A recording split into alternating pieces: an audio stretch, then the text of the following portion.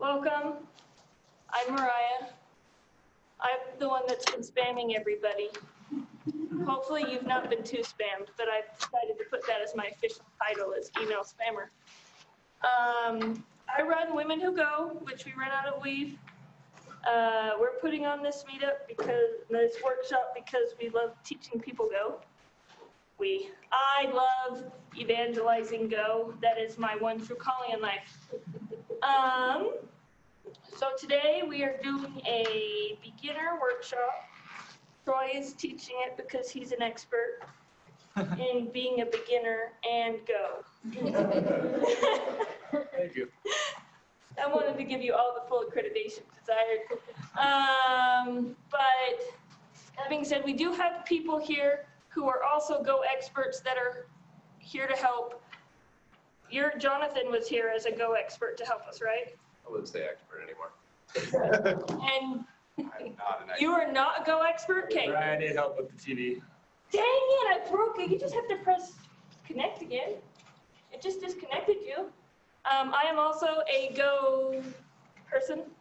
Um, I will help. There's some more people coming, so we'll have, if you have questions, have troubles getting set up, I've done Go for a little bit, but not Yeah. an expert. for sure. No, just mostly like Go, you have to have a dev environment set up, and that can be tricky the first time. So I want to make sure that we get that set up, because once it's set up, everything runs smoothly. But we just need to make sure that we can run our computers like we want to run them. So we do have some more people coming for that. Um, because I want to make sure that we're all good there. Um, you have all the information I have here. Well, lunch is supposed to be here around 12, so we'll eat. And more than anything else, we want to just keep everything low pressure. Um, if you have questions, feel free to ask them. Um, I'm sure I'll let Troy say anything else he wants to say to introduce people, but that's kind of how I feel about it. Um, and yeah, I'll throw the time over to you and just keep ushering All people right. back this way. Sounds good. Well, welcome to the Intro to Go workshop. So let's start with some introductions. Um, I feel like we can all introduce each other ourselves, right? There's not that many of us here. Let's just do it.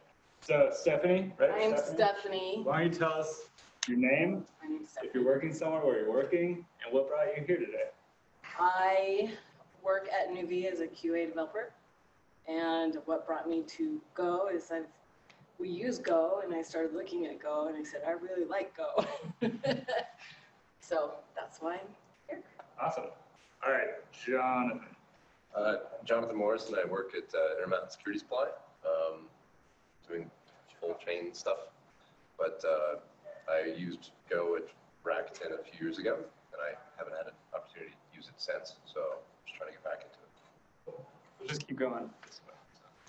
Uh, I'm Tony, I work here at Weave, uh, I do level two tech support. Looking to learn Go because I want to get down to dev. Sweet. I'm Lindsay. Um, I work on parallel learning with Troy, which uh, we're trying to start a dev boot camp for women. So if you have any questions afterwards, come and talk to Troy and I. And that's why I'm here, because I'm his guinea pig. So. Um, I'm Brooke. I work here at Weave, um, the customer success manager. And I am not sure if I want to go the dev direction, so I figured a beginner workshop would be great. I'm Haley. I work here at Weave. Um, what brought me here is I want to go in development, so it's a good way into it. Safe background this way. Hi, I work here at Weave as well. I'm in customer and tech support with Tony and Haley. Um, I've dabbled a little bit with Java, JavaScript and Python, and I've never actually heard of Go until I started working here. And so I want to get into development as well. So just trying to learn more. Sweet. I'm Kyler. I work here as a, at Weave as a developer, and I'm here to learn how to do my job so I don't get fired. Sure. I'm Lainey, and I'm Kyler's wife, and I don't want him to get fired, so we'll learn some coding so I can help him later. Um, I'm Olivia. I worked at I Am Flash for eight years in finance. And I loved building models and figuring out financial models, and I wanted to change. So I decided to look into becoming a back-end developer. Awesome. So I'm learning, learning Python now, but my plan is to go to Go next, so. Great. I'm Adrian, but I go by 80, and I'm a software engineer at Assure Services.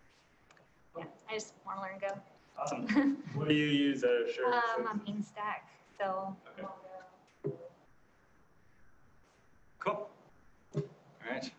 I'm Emma Scanlon. I'm a student at DevPoint Labs, which is a coding boot camp in Salt Lake. Um, and I'm just I'm just here because I'm looking to learn anything I can. I'm Shalay. I also work at Weave, and I'm a dev, and the only thing I've ever been introduced before is Ruby, and that's really hard. I feel like. so hoping Go is easier. All right. Cool. My name is Justin. I'm a developer for Sinclair Oil, and uh, I enjoy Go. I've coded in it for the last month, and I just wanted to learn more about it. Cool. Uh, looks like we had a few people trying to sneak in. You're not off the hook though. So tell us who you are, where you're working, if you're working somewhere, and what brought you here today. So my name is Ulysses. I work at Walmart Labs. I've been doing Go now for a long time. Let's just put it that. Um, and I'm here to. So I'm I'm I'm here to help out. So Mariah and I used to work together at uh, Nav, and uh, super excited that she's kind of taking this on and you know doing the, the meetup. I, I also help run the the Utah Users Go meetup as well. So if you guys have any Go questions, like I'm, I'm here to help. So. I'm Jeff. I work at Amazon in Seattle. Yuli's brother-in-law. So I've heard, heard, heard good things about Go. Haven't done much. All right. Cool. Hey, what was your name? Uh, I'm Curtis. I do contract work for a company based out of Portland right now, um, EdTech.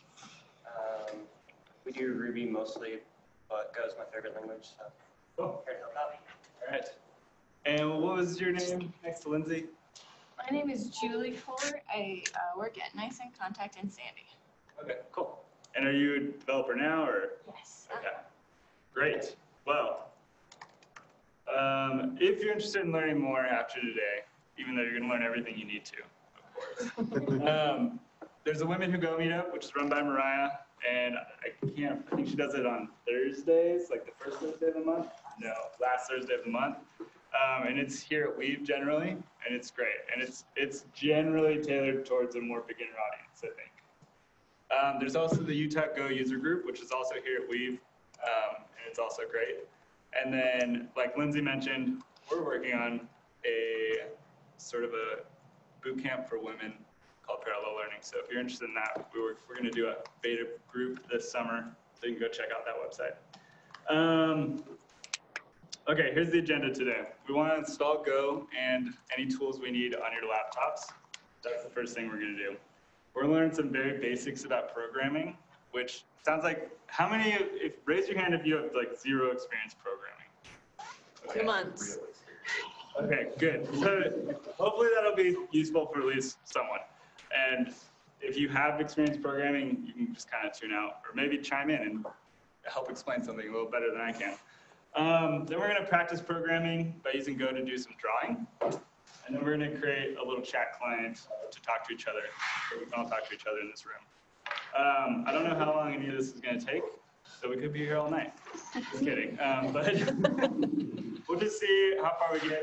The most important thing is that we can install Go on your laptop so that later you can go home practice more on your own. Um, so as we're going through this, if any of you have questions or you're feeling stuck or frustrated, or if you think I'm explaining something poorly, please, please raise your hand. Let me know and like, let's help each other out. Like Mariah said, can keep this very low key. Um, okay, so first, I want to talk a little about the command line interface because um, this is something that can be intimidating for people that are new to programming. But it's just like a UI. What's a UI? Any guesses? User interface. User interface, which has buttons and text boxes and that kind of thing, and you use a mouse to interact with it. So it's just like a UI, except that you use, you're writing text to interact with your program. So for example, Um, I can, here's the command line interface right here. I can type in a command called ls. It's going to list all the folders and files in the directory that I'm in right now. So it's very similar to if I open my Finder window. Let's just, and I go to my home folder right here, Troy Shields. You can see that it's got the same stuff. So applications, I don't know if you can see that. Oh, I can zoom in. Well, not very much. See how there's an applications folder in my UI? Here's the applications folder in my CLI. Following. Um, and just like I can click on this to open the applications folder, I can use a command called cd and then type in the name of the applications folder. And now I'm in the applications folder. And then I can use ls and just see what programs are in there. Cool? So might seem intimidating, but it's not that different from what you're used to. It's just a different way to interact with your computer. So we're going to do that a little bit today. I just wanted to get that out of the way. Uh, so cool. Okay, now we're going to jump into the installing stuff portion of today. Um, if you feel like you know what you're doing, just these, this is what we're going to install. So just you can start Googling VS Code install and go for it.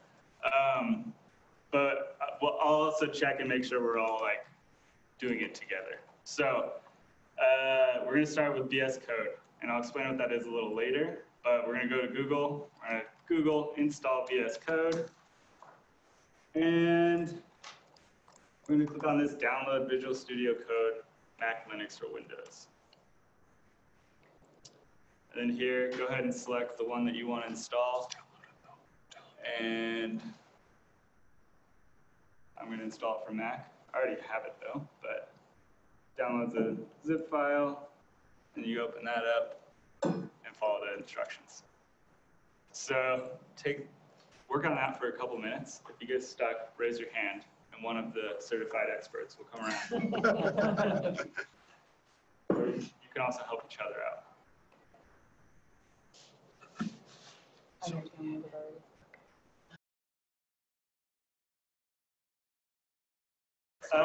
if you're on Windows, then you have to install Git for Windows. If you're on Mac, congratulations, you made the right choice. so, Google uh, Git for Windows. You can see not that one. We're gonna go for the Git for Windows.org. This one right here. And then just click download and install that one as well. It'll it's just like a normal installer. You can just pretty much leave all the defaults that it gives you. Um, we'll keep going to the next one since not all of you are on Windows, but I'm not going to leave you behind. Don't worry. So if you're on Windows, just st stay on that one, get that installed, but then we'll catch up. Um, for the rest of you, install Go. If you're a Mac user and you use Brew, you can use Brew to install Go if you want. Um, it's just brew install go. Uh, if you're not a Mac user, you don't use brew, then I would just Google uh, go install and click on this getting started, the Go programming language.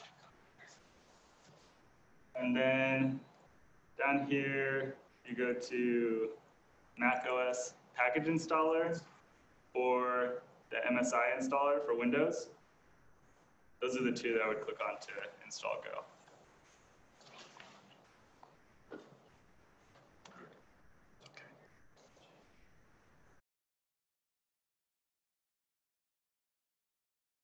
All right, are we still in install? Are we still installing Go? Everyone have Go installed? Take that as a definitely If yes. you have any questions, raise your hand and we'll come work out your issues. So the way the way you can verify, that let's verify that we're all to this point at least. This one's the one So open up your terminal. Okay. Remember command space terminal on Mac. On Windows, you have to go to the start menu and then you hit CMD. Yeah. You hit Windows CMD. Um, so Okay. if you could. So you should be able to run go help and see something like that. If anyone does not see that or can't get to this part, let me know. That's the play.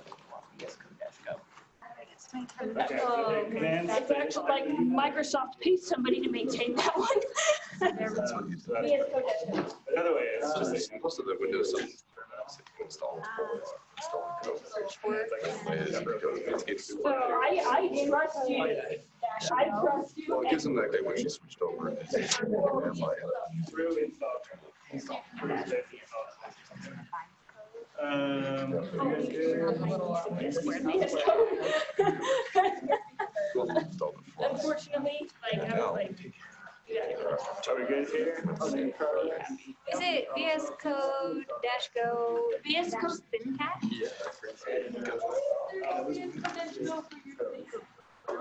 It's bad. When I do the last thing, I install VS Code, the Go extension, in the VS Code. That one. There we go. Yeah, that one. All right. Next, we gotta create a folder for your Go code to live. Yeah, that's my, that's my choice. So open up your Finder window, or if you're on a Windows, open up Explorer. And then go to your home folder, which is usually your username. So Troy Shields for me. Yeah. Um, on Windows, it's gonna be. C drive. The C drive? I'm really happy with. That's where you put your Go. Oh, I have no idea. I was telling you where the home. Users, your username. Yeah, that's what, okay. Yeah, so it's, it's your username in Windows as well. And then you can hit, you can right click in here, create new folder, and we're gonna call it Go. So create a folder called Go Hi, Travis. in your username folder, in your home folder. We've been trying to get you into this building forever. Questions about that? Where are we putting in, Put it in your, your home folder, which is your username. Feel free to take a seat right here. Um, just next to So the, on that screen there, found the extension, just press install. Install flat. Troy, you're just having to create a folder in in their users directory then? yeah, yeah, yeah, yeah, in their home folder. This one, you can pull through extensions by clicking on, okay? Just installing, um, On the search box, type in Go. No, oh, yeah. See, these, the map out of Right here is the one we want to. Now, these are a whole bunch of different extensions that relate to our Go. What's your name again? One thing that I'll do is I'll have to look uh, these numbers, it's If you have any questions, just raise your hand. We got more people with, This extension, knowledge of how to this install. next one is like sixty thousand. Did, I left. So you can see that like, Oh, right there. Oh, the most popular. The, the boot camp, I put all these. Visual Studio Code, I that actually install what it does. now, So basically, That's a big just like one. Visual Studio Code, it's like, a- it's like a text editor. Doesn't have a username. open up your, I know. Extensions. Gotcha, okay. Handle different types of documents, show documents. Um, Exactly. this is where we're. So this one now, now that we've solved the session, Yeah, I don't, I don't, I Visual Studio will have all the Doing well here? uh, All right. Troy. the setup, but yeah, I may have to go get like. Make it- does help. Yeah. Yeah, everyone created that folder, we good? Anybody not created the folder? All right, we're making progress. Okay, now we're gonna open VS Code. So open that with however you want. It's gonna look like this. Well, Show you how it's gonna look. File, oops, file new window for me. It's gonna look like this. Everyone have this open, ready to go? Um, so this is a text editor. We're going to be writing our Go code in this text editor. It's kind of like Microsoft Word, except instead of creating nice, pretty documents, we're creating nice, clean code. Um, and we need to install a tool into this text editor. So if you click on the left side, this square thing, and then in the search extensions and market, marketplace, you should be able to search one called Go There should be one from Microsoft called Go. Little Gopher. Little Gopher. So go ahead and install that. It has 8 million downloads. So It may not be trustworthy. we don't quite trust Microsoft on everything, but we might want to trust them on this plugin. It is a good tool. I'll say, you know, Go is a good programming language because it's got an adorable mascot. We have stickers to prove it. Yeah, there- there's a lot of stickers over there. Um, so anyone having trouble finding that or installing it? Okay, good. Questions? Okay. Then, now we want to test it all. So we're going to test it all in VS Code. Go ahead and hit Control tilde on Mac. You're on your own on Windows. It's also Probably the same. And that should open a little terminal at the bottom. Might want to explain what a tilde is. What? Might want to explain what. The tilde is the, uh, like the top left. The squiggly. So- Oh, no, just. I'll, I'll type it. For Windows people, Yeah, that's the tilde. for Windows people, go to View. You're opening the terminal, right? Yeah. So if under View, They don't have the shirt. go down and there should be terminal in there. Yep, so Also control tilde on that. Out of my terminal. is that okay? So like I said before, you should be able to type go help and have go, have some help stuff show up. Um, the other thing I wanted to have you try was to use go install github.com slash Troy Leland Shield slash drawing. Everyone try typing that command in and then hitting enter. Let's see.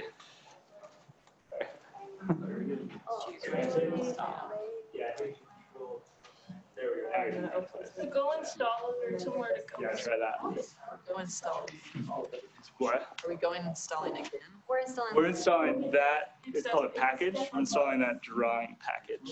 Did you, did you try typing that in? Yeah, go get, it's, it's similar, but yeah, like, it'll basically, yeah, like if, if you have the source and binary directory, like you'll actually install that binary, put it in your path. You should to like. run Good here? Okay, yeah. Try typing that in. Okay. Go install github.com. Google get will also get your code. Uh, so. Slash Troy Leland Shield slash. My, uh, plugins. Hmm. Did I spell it right? Uh, yeah, you spelled it. Is this a uh, GitHub directory? Troy.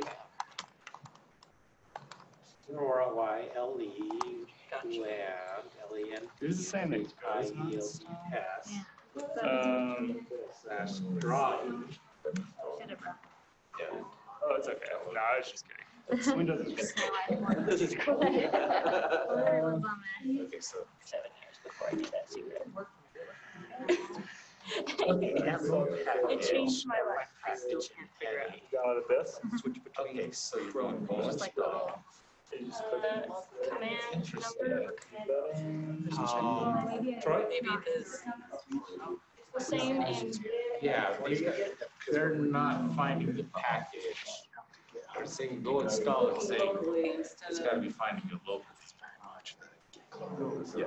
Uh, is it because? Go that's, So we have that's to give right. I think you gotta do a go get. Yeah, I think you might, yeah. No, it's not working for anyone? Get. Yeah, isn't it go get, not go install? yeah, we need to go get it. Go get. I tricked you all. I just wanted you all to get a mic and get there. I'll be right back. You're still gonna. Go get. So instead of and do go install, just put E GET. Go get. I was wondering if you.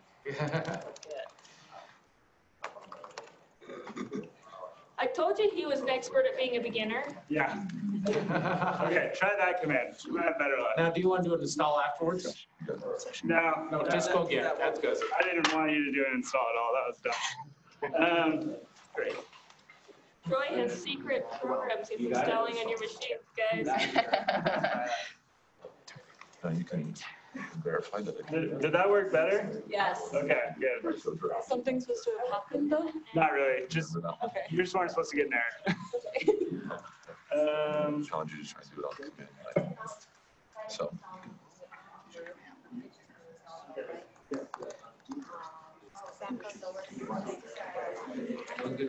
Test out. uh, Shows you what's, what's in your current directory. LS shows you. And it takes a while, and then you and then it actually goes, it's, it's because it, because things switch off and it has to go. Yeah, yeah. It does. So what I was trying to do there is Go is actually trying to run a program called Go. Yeah, that's, that's the big thing. is How, Install the Go program. I got it in twenty. Emily, the very first thing that you type, No, but I'm, that's, that's the update. you want to execute. So I'm trying to execute Go here. with Go. and now that's should see CD. And then you'll do a space and you want to change directories to where? It's modeled, like, so they, they, so they, so. Hard drive it. Uh-huh. So there you go. Now press it. So now, this little thing right Have, here have I fixed it videos? Okay. You see, I fix it like this. is your home directory. And then the slash go means you're in the go directory. Toss it. If you type in ls, see what it shows. So now it says package source. I've got some insider information. I'll tell you. Source is the source code of um, stuff that you've gotten. gotten go. So, and then package is, I think that's where it like compiles it and sticks the. Anyways, go into the source. Uh, no, I expected the, uh, Oh, that should installing not work. Go to Good job. take You're supposed to type CD source. No, um, change directory, but you're in there, so type ls. And so now you've got those two folders.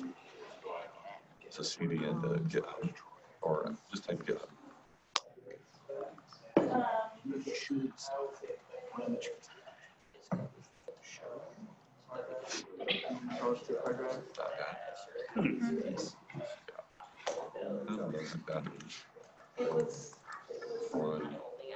My contribution to this workshop. Let me give you one thing here.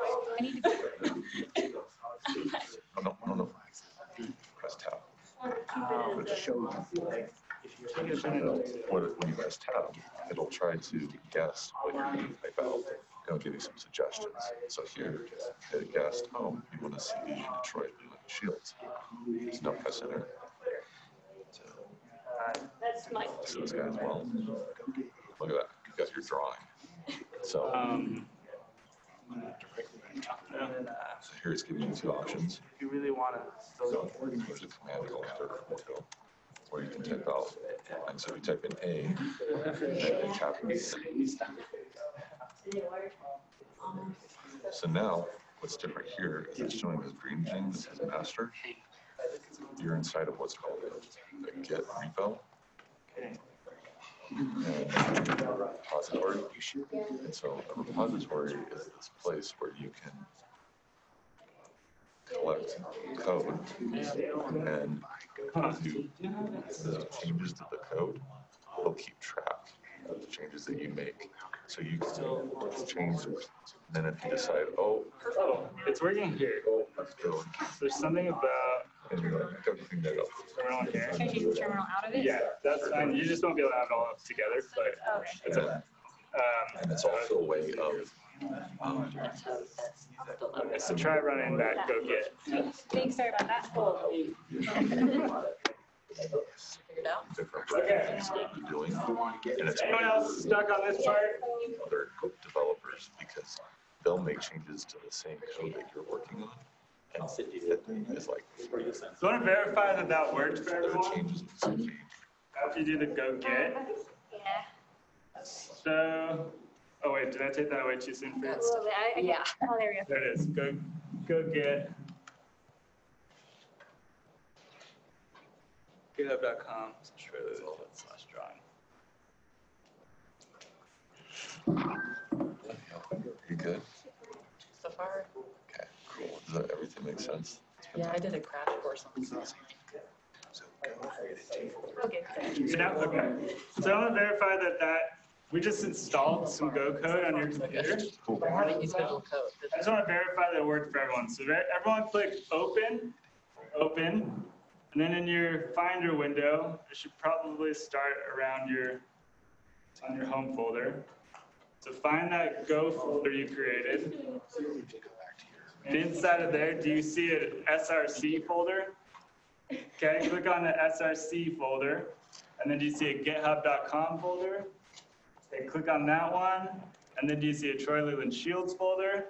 Okay, click on that folder and then click open. And you should have on the left that drawing code. You see that drawing folder on the left? Open, once we open the Troy one? Yeah, so open Troy Leland Shields. Okay, so. Yeah. Code, create code. Now if you expand Right, it. so we got Cool. Go. I can't believe it worked. You set up for Go Path where? Uh, I didn't set it up, it's just in the default It's in the default under Go So- source? Probably see Windows users. Yeah. Okay, Windows users, okay, And so, then her username. Um, I'm drilling down. uh, so we're in the wrong place, yeah. Or C users, and then Go, Aurelia. package, and SR, SRC. That's why I No, that's the wrong one, go back to, Because mine wasn't in users. Notice that this was outside of users, that was in. That, one- that one's okay. That one will be after. Yeah, And good. then I made it go, because we just created a new called Go, right? Yeah, that one's probably supposed to be in your users folder. Yep, that one. Oh, okay. And It's empty. then- Oh, yeah, it it's is. So Um, maybe- that's what I already here. And you want oh, unrecognized import. oh, does it, it needs to be github.com Oh, thank slash you. Troy It worked the second time. All right. You didn't do anything wrong.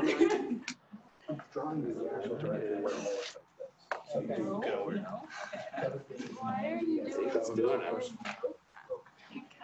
Okay. space. Yeah, Yeah, there it goes. So Okay, now you open got up this folder in Drive. Very, Yes. very. Yeah, I'm in there right now. Examples, You're good. just the whole folder. Mac, you're good? I'm good. Um, so, Man, I found it, please get back. thank you, sorry about that. Echo, dollar sign. All right, anyone else, anyone having problems? Doing good? Okay, so then Should we get into the fun stuff now? export. Hey. So I usually just set it as an environment variable on my VHS. And just double click. I'm fine. The VHS RC. Yeah, ZHSR. Yeah. So you can just export GoPath equals. All right, I got a tough question. What does it mean to program an alarm clock? Tell it what time to go off. Tell what time to go off? Okay, how do you do it? What? Okay, We have an alarm clock or we build an alarm? just a normal alarm clock.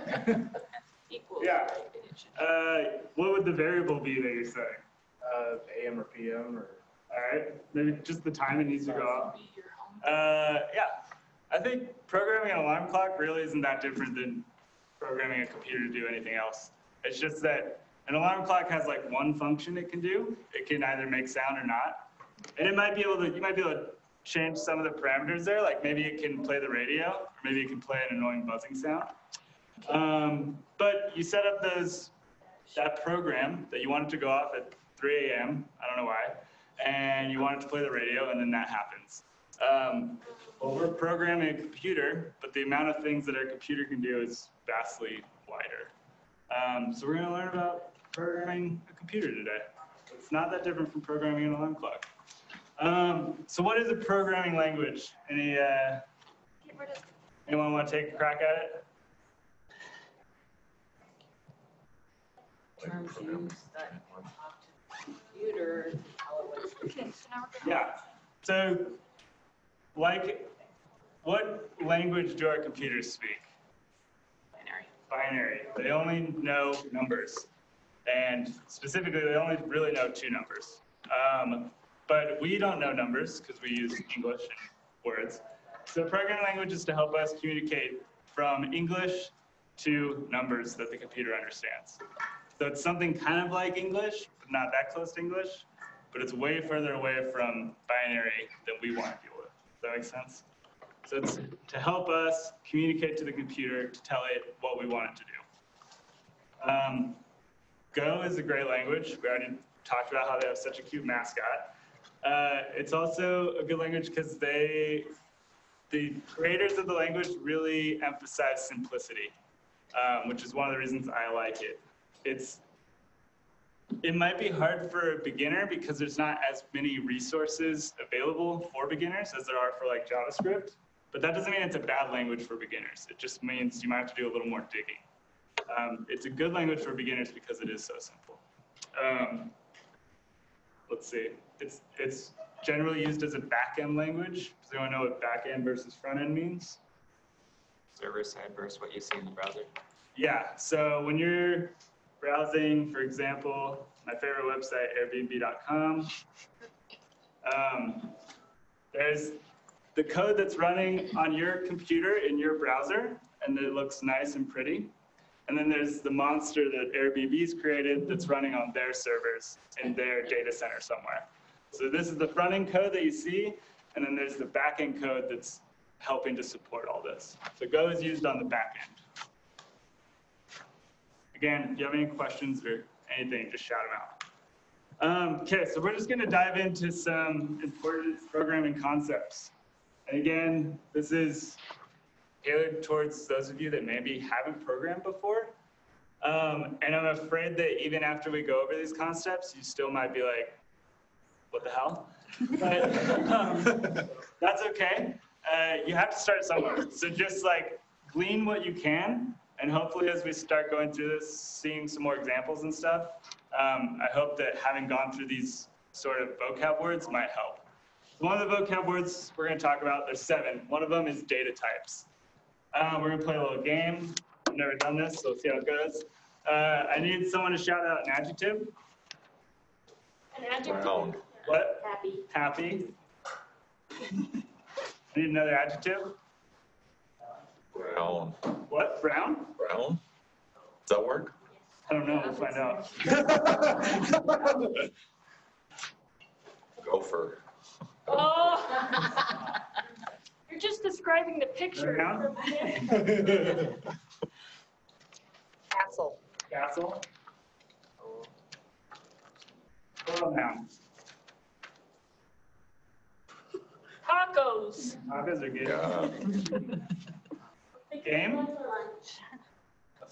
Soccer. Soccer. Plural noun again. Uh-oh. I need another plural noun before we get that ing verb. People. People. Now I need a verb ending in ing. Running. And one more verb ending in ing. Swimming. Cool. Yeah, sporty Mad Lib. you may have guessed that we're doing a Mad Lib. Uh, so let's see what we got. A vacation is when you take a trip to some happy place with your Brown family.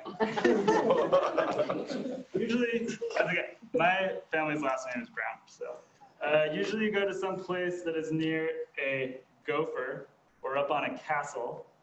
A good vacation place is one where you can ride tacos or go hunting for people. Um, I like to spend my time running and swimming, running or swimming. Uh, cool. So just like this set, this story had to have an adjective right here. It would not have worked if we had put a noun there.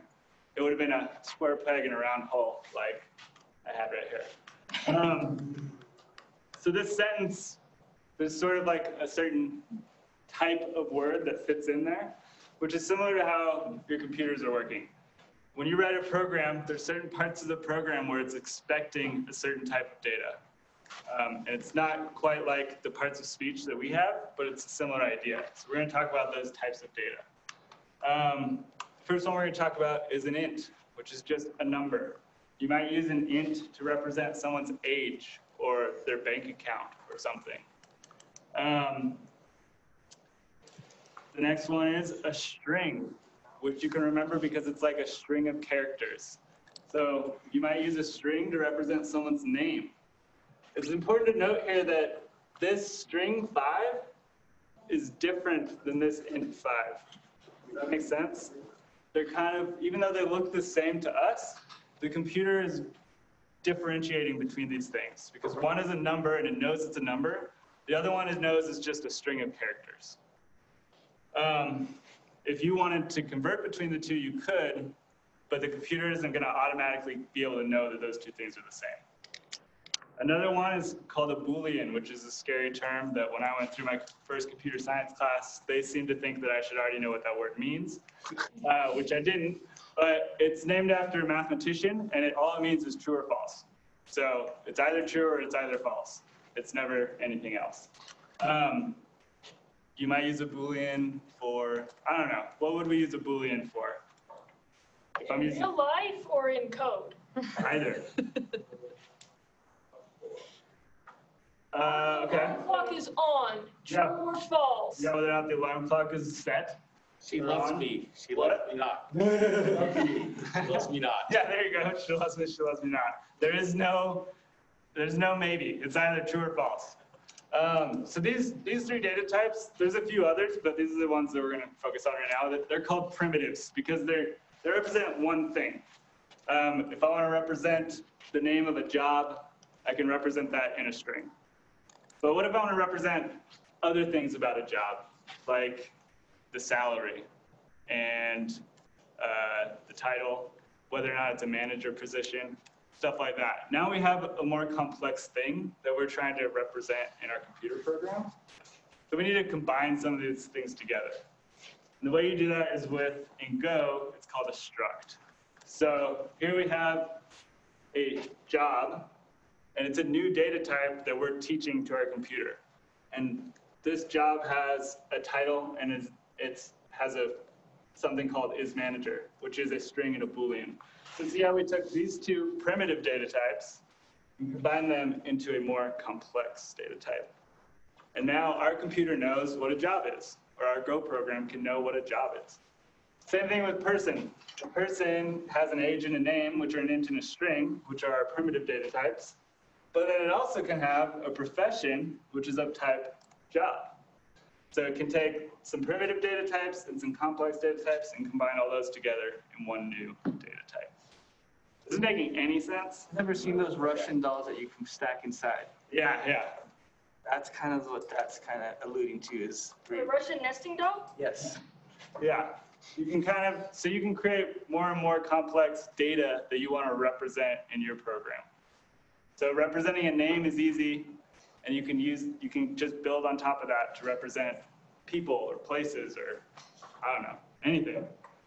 As long as you can, if you can make some type of model out of it, then you can, uh, like this, with the simplifying the fields into primitives, then you can nest those knowledge deeper and deeper and have a really cool program.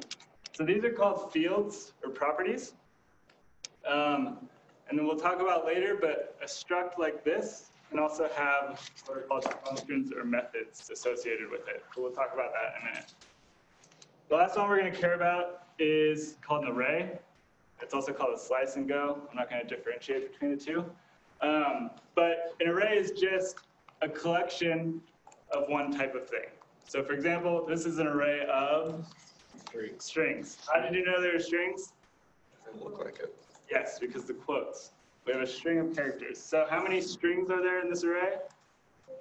Three. Um, so that's an array, and you can have an array of anything. So I can have an array of booleans, I can have an array of ints, I can have an array of structs, I can even have an array of arrays. It can get a little nuts, but that's what you, so if I need to represent a person, I would use the person struct. If I need to represent people, I would use an array of person structs. Okay? Yeah. Or arrays in Go. I know some programming languages say, like, so there would be three there, but it would actually be, it would consider it four, because like, at zero or Right. So we actually weren't going to get into this today, but let's talk about it for a minute. Um, so in most programming languages, all the good ones, um, it uses what's called zero-based indexing. So instead of saying that this first element is number one, we say it's number zero.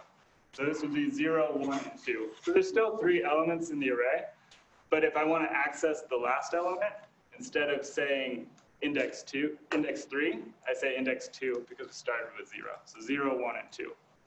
Um, that's not going to come up so much in our example today, but it is important to know. Uh, any other questions about data types?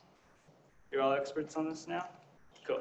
I've been an expert my whole life. All right, we're gonna talk about variables. We're gonna start with some algebra.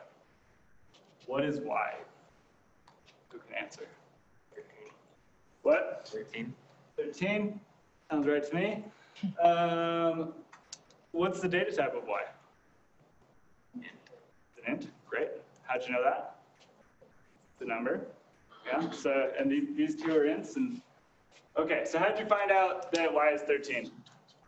Two times five. Use algebra. Okay. Use algebra. How did you know that you had to do two times five? They're next to each other. They're next to each other. So it's like a system of it's a system of equations. So we have two variables here, but fortunately, from this equation, we know that x is five. So we can just plug x in right there. Say two times five plus three equals 13. Very cool. Um, so variables, they're cool. People get hung up on variables when they're first starting sometimes, but it's just important to remember that x is just representing some number. As long as you remember what x was before, you can use, you can figure this out. So x was set to five, so we just plug x in, or we plug five in there, and it's as if x never existed. Um, okay, let's do a similar one. Now, what is y? I don't know. Okay, you don't know. Why don't you know? I don't know what the entry fee, the price per game, or number of games played is. Okay, I would argue that you don't know what the values of these things are, but you should probably still be able to tell me what is y. Okay, it's an int. How much We know it's an int. That's the data type. How much money you're gonna get per game of people playing. Okay, so this is the total cost of someone going to an arcade, right? Or something like that. They had to pay some entry fee. They had to uh, pay some price for every game they played, and then depending on how many games they play, that's going to affect the total price. So even though we don't know the number, we were able to figure out what y represented to us. So we could have renamed y to like total cost. Um, and then we can plug in numbers and get it an answer, but that's sort of not really what's important about this. It's not the answer, but I just wanted to point out that in algebra, we always use like x, y, a, b, c, i, like one letter variables. We're not going to do that in programming. When you're writing a program, you're going to give each of your variables a meaningful name that means something. That way, when you combine these variables, you'll be able to tell what are these, when I combine these things, what does it mean to me? Um, so y is not a meaningful variable, but total cost is meaningful. Makes sense? Questions? You're experts on variables now? Um, so real quick, we use variables to remember values. We'll see that a little later. Um, variables are an abstraction for values. Just how like we are talking about, we're going to give a meaningful name to each of our variables. It's because we want that variable to represent some true value. So for example, um, on this example, this number of games played, that's an abstraction for how many times someone's going to put a quarter in a machine or whatever. It's not the actual value itself here necessarily, but it's representing that. I just want to use that term abstraction um, because you'll hear that a lot as you start learning programming, and it's good to get exposed to it early. Um, var variables can only hold, excuse me, variables only hold one type of data in Go. This isn't true for all programming languages, but when you have a variable, that variable is always going to be an int or a string or a person. It's never going to change to something else later. And then finally, we have to do what's called declaring your variables in order to use them. So you might get an error uh, in your program as you run it that says this variable does not exist or it's not declared. And that means you haven't told the you haven't told Go, hey, I want to remember an integer or I want to remember a string. You have to tell Go, I'm creating this variable because I want to remember this value at some point in the future. We'll get into all that later. Okay, next one we're going to talk about is the assignment operator. So x equals 5, x equals 7. What is x? 7. But x equals 5. So what gives? Go ahead, Stephanie. then we overrode it with seven. X can only be one thing at a time. Right. So in math, this equation, this is, what is it? System of equations makes no sense. X cannot be 5 and 7. But in programming, it's, it's different. We're not saying x equals 5. We're saying I want x to be equal to 5. I am setting x to 5. So at this point in time, x is 5. But then the next line of code, we're saying I want x to be equal to 7. So I don't care what was there before, but x is now 7. So by the time we get to the end of this little program, what is x? 7. Question. Yeah, So if you at first set it to five, you can't change X to cat, right? right. Yeah, so because x started as an int, in Go, it's always an int. In other programming languages, you can change it because they're crazy. Yeah, in JavaScript. Same with. So we're gonna do a little pop quiz. Um, but it's important to remember that the equal sign in Go, most programming language, programming languages, is called the assignment operator, not equals. So it means I want you to take whatever's on the right side of this assignment operator and store it on the left side in that variable. Um, so here's x equals 5, x equals 7. What is x? 7. x is 5, y is 7 plus x. What is x? X is 5. Y is Y is 12. Yeah. So we used, we took X, or we took 5, put it in X, then we plugged 5 into X here. 5 plus 7 is 12, so Y ends up as 12. Okay, what about this one? X is 7. This, this could be confusing for people at first, because you think of it as an algebra equation. It's not algebra. Remember, until, but first we have to figure out what's the value on the right side, and then we can take that value and stick it on the right side. It doesn't matter that x is on both sides of this equal sign. Because we have a value for x, it's 5. So we'll plug 5 in there, we'll get 7, and then we'll put 7 on x. Okay? Cool. And, oh, here's a good one. What is x? Hello, comma. Um, just because it's not numbers, in algebra, uh, Mariah, I need help with the computer. Um, does not like to stay attached to the Wi-Fi, Yeah. the AirPlay. Do you want to plug it in, Troy? You can plug it in with the thing and pull plug it out. It's okay. I prefer the Zoom. Okay. Um, yeah, in math, we always deal with numbers, but in programming, we can deal with anything. We can deal with strings, we can deal with persons, we can deal with jobs, whatever we can, if we can create a data type for it, we can deal with it in a program. Um, so Go knows that when you're trying to add these two strings, you're not looking for a number. What's the data type that you're looking for? String. String. So it's just gonna, what we call, concatenate these two things together. You end up with hello world. Questions about any of these? Following along? Is this far too simple for everyone? Or just feel useful? As long as it's useful for one person, I feel like it's worth it. Okay. But we're like halfway through, so just get over it if it's too easy. Um, control flow. Uh, I always think about control flow as a bouncing ball through a sing-along song.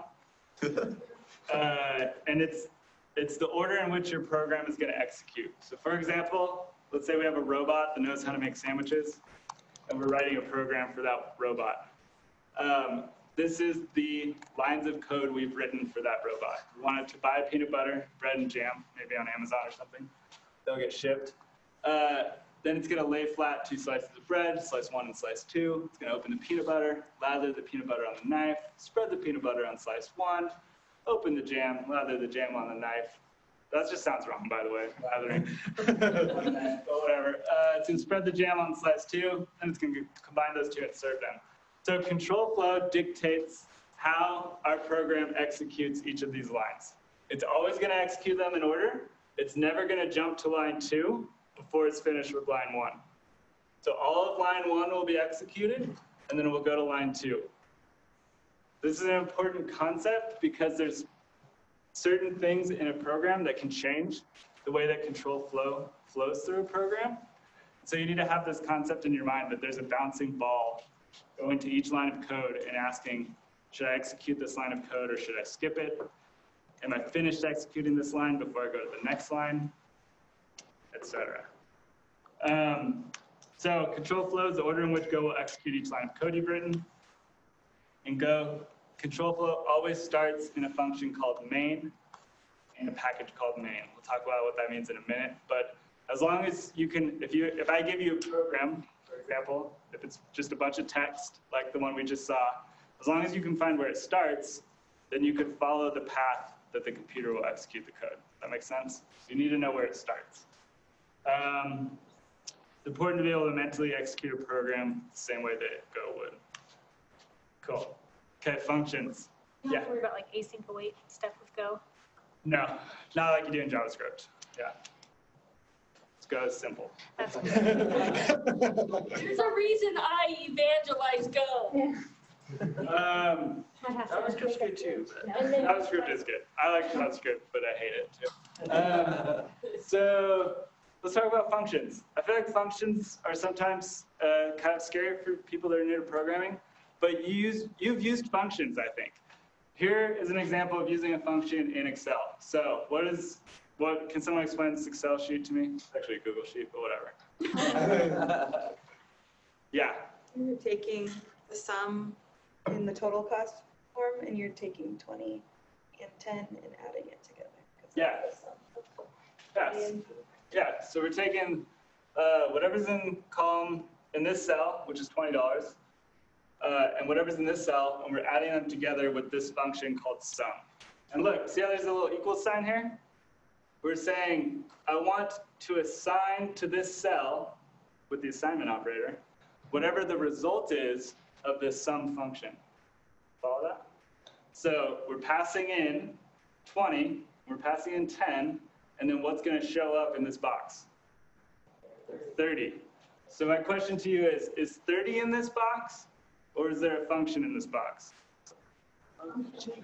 Or does it matter? For example, let's say I wanted to do another function on this side, and I wanted to use 30. Could I do that? Yeah. Yeah, because as far as that function is concerned, it doesn't care if 30 came from a function or if I typed in 30. It doesn't care as long as I'm giving it a number. Does that make sense? So for the purposes of writing a, more onto this Excel spread, spreadsheet, as long as there's a number in this box, um, that'll work just fine. So this function has two input parameters. Call them input parameters. So this one takes two integers, and then it has a return result, which is the sum of those two things. Um, and we can use the same exact function with different input parameters to get a different answer. Questions about functions? So here's a function for our you know, making a sandwich example. Um, we define a function up here called spread, and it takes as its input parameter bread slice and a spreadable ingredient. Then down here we have the actual program where it executes. So control flow is gonna, as it's going through this program, it's gonna skip this code right here because we're not using that function right now. It just exists. But right here we have our actual code they're executing. So we're gonna buy our peanut butter, we're gonna lay flat our slices of bread, and now we're gonna spread on slice one peanut butter.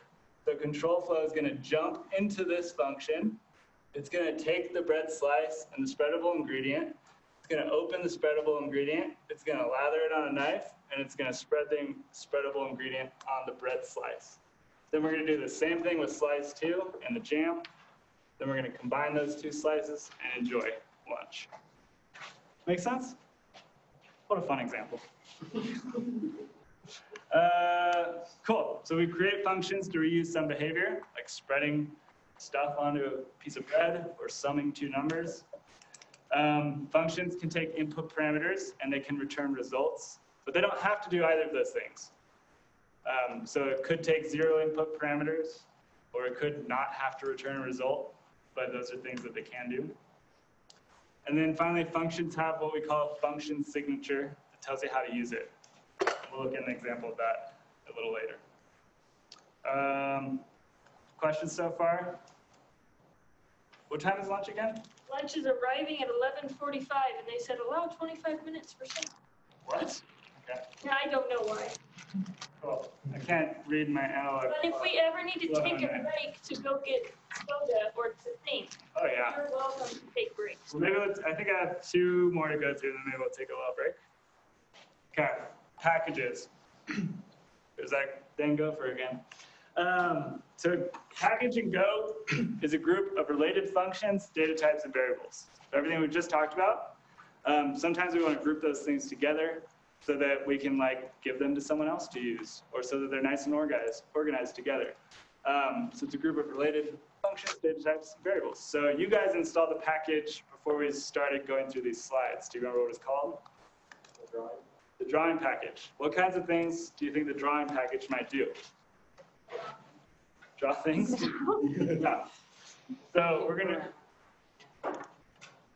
Yeah, so it might have some functions, data types, or variables to help you draw things.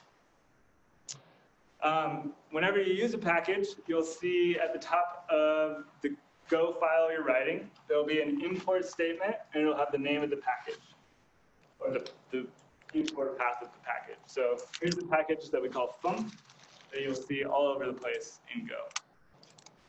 Um, okay. Next one we're going to talk about is called the accessor operator. It's this little period right here. Um, so we use the accessor operator to open a package or struct. Remember how I mentioned a package is a group of related functions, data types, and variables? Well, in order to access what's inside that package, we give the name of the package, then we put a little dot, which lets us open up whatever's in that package and access those things. So for example, funct, which we just talked about, has a function called println, which stands for print line. So we say funct, the name of the package, damn it. That was horrible timing. I was just getting going, it sucks. Uh, A quick question, why is it thumped? Uh, yeah. Actually published a thing from the Go team that says that is how you pronounce the format. Funked. Yeah, it stands for format. Uh, I I don't know why, they, they just wanted it to be it- short. It is the the official pronunciation. Go funked. Yeah, so funked, it stands for format. And I use the accessor operator to open that package, and then we can see it has a println, printline function. And what do we pass into the printline function? What data type? String. Uh, and then what that does is, remember how we talked about CLIs? That will print that string to your CLI. Very cool. Uh, here's another example of using the accessor operator to open a struct. So we have a struct called person, has a field called name, which is of type string. Uh, and let's say there's some function called getPerson where you pass in a real social security number. it returns a person. Then you can use the accessor operator on that variable person to access the name. And then you could assign that name to the person name variable. Following this? Questions? Cool. It's go time. Do we want to take a break? Yeah. Okay. Come back in five or 10 minutes? Don't look at me. You're in charge. Uh, let's, how about at 11:20? That's a seven minute break. If anybody needs a bathroom, it's out the door and down the little narrow hall by the elevators. It's kind of hidden, but it's like this. Um, yeah, the door's open. The door's open. Um, and yeah, feel free to grab drinks or anything you want in the kitchen. Um, Just don't take any of the TVs on the wall. That I do recommend not doing.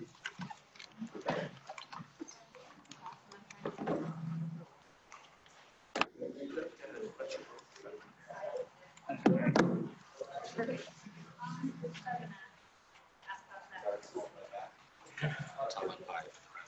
no, we're, uh, Troy will more than willing to have us record it, so I will take it, um, and cut out the breaks. There you And, Probably good. and stuff. And then, uh, yeah, we'll put it up online. Um, and I'll, I put everything. If Use Twitter, I guess. Well, I mean, you can also do Twitter and Slack are what I, what I mainly do. Um, or I don't, I quit publishing things on meetup.com, so there's like four Slacks I publish crap on, so. So all your meetups are just through Slack and Twitter that you organize? So I am on meetup.com, women who go. Um, I just don't publish this information. That makes sense. So you have the meetup next. So the intermediate one, is that more like just diving into rather than like Exactly. Um, so the beginner one, like, cause we're gonna be doing code. Um, there were just quite a few people that signed up that had never coded before, so we needed to have. Oh, it's great, like. Probably an hour. Honestly, Troy's used. And they have I have never used. video. Because the, that's probably how I should describe things. Oh, that's the official, uh, free wording. Not my little like, you know, little shortcuts I use. Uh-huh, so, yeah, but, um, so we're gonna be doing just a simple server example for the walkthrough. And then, I'm just kind of looking through it. and yeah, and if you wanna work, um, if you wanna come to the next one next weekend, you're more than welcome to come. As long Um, as you have the Go binary installed, it should be pretty, pretty easy. Follow along. Um, so like, uh, so do you do like the intermediate ones or on Saturdays, or you just want kind of like a series? So these are just two workshops. Our meetups are Thursday nights. We're doing them every other month. Cool, nice. So that's what we do, and we do just general. How about Gmail? Gmail? Yeah, no, I'm, I'm looking through the code and it, Emma's? so readable. Go is amazingly readable. Pretty cool. Um, that was, uh, when they were writing Go, right? Started about ten years ago. They went back to C, because they're like, well, we need something that's fast, we need something that's stable. Let's make it so people can read it and use it. Yeah. So the hard part about Go, which is why we took so long doing it, is getting the environment set up, getting your Go path, getting your binary, getting your, getting your text editor, because that is the hard part of Go. Once you have that installed, you can dive in, and it's really easy to learn from there. Stuff on there that you want to save, right? Yeah. So we need to, So how, how, how did we organize this? group? if you need help, I can help you do it. If you see by the drive, I have, It's just I will advertising. plug in. Or me? Oh, you're talking about, what do I do? So I have, so I organize the event through meetup.com. This version of this, it's not too Meetup.com bad. is where I Yep, organize. now, and then you can just copy your stuff. Oh, there. Yeah. Um, This new drive. and we are trying to, so it's part of a bigger nonprofit. Yeah. Um, and that one, you, you come to the Go Youth. We do two things. Yeah, I know meetups. So it's, so Forge Utah runs the Utah Go user group, Women Who Go, Cloud Native Utah, and Machine Learning Utah. And later I have the adapter. So we publish all our events on Meetup. If you need help, We have a Forge Utah Slack. How I do it in Guy, guy jumped on the Slack. So you get the drive, like, just found this on me. Uh, I actually, we did, um, uh, an Eventbrite event for the workshops themselves. Okay. Um, copy your stuff. I mean, Yeah. so is there like, also But you got on the technology, yeah, they were looking for International Women's Day, they were looking for somebody and they, uh, we got in contact with them and they threw me right on up there. And, uh, So there are, you can get more RAM, more memory in it, four gig, which, oh, you wanna go see your desk? I mean, if you're just gonna do some. Um, no, and so, uh, with the Eventbrite event, we got a whole So, ton of like four gigs is like, but you could, it is possible to do it. Fantastic. It's- I'm just looking through. You're not gonna, oh, it's, it's it's not gonna be, like, if you had two gigs, it'd be like, We've yes. done, we've had a whole couple of months to just push this out and get as many people as we could. The other thing is, I haven't heard about memory is harder to get. But oh, there's some. hard drive for thirty bucks, it's like a cheap upgrade that it's like, it's cheap. Sorry, so they took his uh, nameplate from the Like, previous thing nameplate, actually- set it up. Yeah, okay, cool, that's what I'm going. Your daughter? That was like, my wife ran Photoshop, so she I need to keep coming. Eleven-year-old daughter. See, so it's just the right time to let So it go. finally. This is excellent. Okay. She was like, Wanna come see her? load up, it doesn't take like, like thirty seconds just to like. Yeah, it It's takes just so long to bring something up. Yeah, So, okay, cool, thank you so yeah, much. hopefully that helps, cause yeah, I mean, it's, I mean, it's in, in that way, cause these are still big machines and you can still get life out of them. So, to get a little bit faster, hard drive, cause they're participating. Yeah. Get it done, Yeah. so. It's hard to I got you. You already know Go, or you already know You programming? have to like. No programming, you never done Go. Question. Java. Oh, okay, so you've done Java. And then, yeah, hopefully, yeah, the next thing with these two is the battery. It's easy. Been trying to think about it. If your battery starts to be like weird, Yeah. it's, the new ones are a pain, like they, they like, Don't know what I want to these newer ones, yeah. You'd have to use have to actually do that on online. Amazon right now. And one of the shows about that, and it has to like take it apart and you have to like use a heat gun. Oh, Oh, wow. no, it's easily done. Well, thank you so much. Thanks. I'm gonna get a drink. Oh, you got a banana.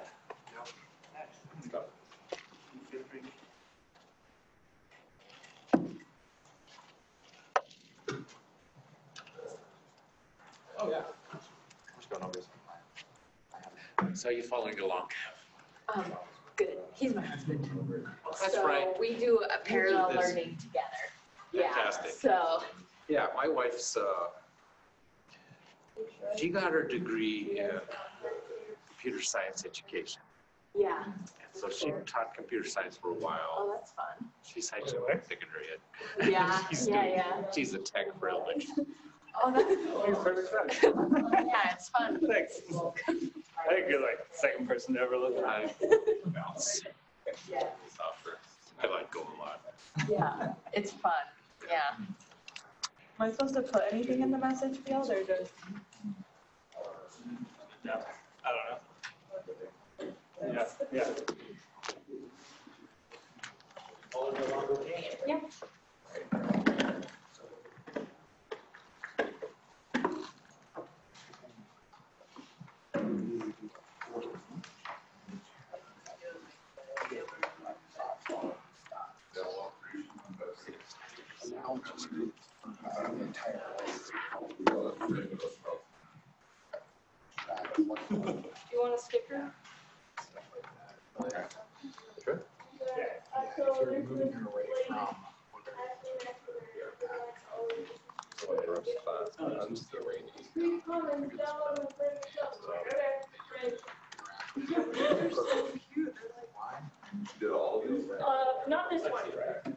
This one Kurt did. That will work with. Uh, Yeah. But that's the majority of the, that's. No, so, so the gopher is actually like, so when you go started, they have to go, they brought something Well, efficient, re- designed the gopher. Reducing it for ten years. So the gopher is. I'm not sure. I'm trying to figure it out. None of the, I, the little Java guys. Or is used, there's a little python snake. Not like an animated python though. No, at GopherCon, they actually give out little plushies of the gopher. Yeah, no, I, yeah. I- They're always the first ones to get it. Or like when they actually, Yeah, those are- yeah. Cause you do, you said JavaScript. Ready? Or- Yeah, I'm, wor- um, yeah, I've, I've done some Udemy courses and some. yeah, Oh, yeah, neat. yeah, mhm, yeah. So I, I started learning, um, Java and C sharp. Yeah, you're following along with this pretty good. Yeah. I don't know, But, what is yeah. the, It's like, it's a refresher. So Because JavaScript's a little easy. That's why I like Angular, because I'm not sure if that typing, Right. I force it to only accept what I want. Because it, it should know to put in your Oh, go really? path. Same concept, CLI. Yeah, Built um, everything, all that stuff. that's cool. Luckily, that's what I'm using. Yeah, everything that makes sense so far, like makes sense. The gods or the dot net. Uh-huh. So, That's cool. it makes life. Yeah, But JavaScript is also. Developer? Yes, I yeah, there's a lot of issues. That's true. There's so And I did. I won't be like Go. Session. object in. I have to like make a model or interface for it just to get what I need. Oh my gosh, it's eleven twenty-three. Um, Sorry. Also, I realized that in my excitement to talk about Go, I didn't introduce myself. Troy, I work at Weave, uh, and uh, I'm happy to be here. So, this next part we're going to use. I did. I thought one slide, set of slides wasn't enough. Now we're going to use a different set of slides. So you go to gethandouts.com. What? How long are those slides available, Troy, for the rest of our life? These ones, I can send them to whoever. No, it's fine. I'm just joking. So gethandouts.com, you ask for class code, and it's VXNXF.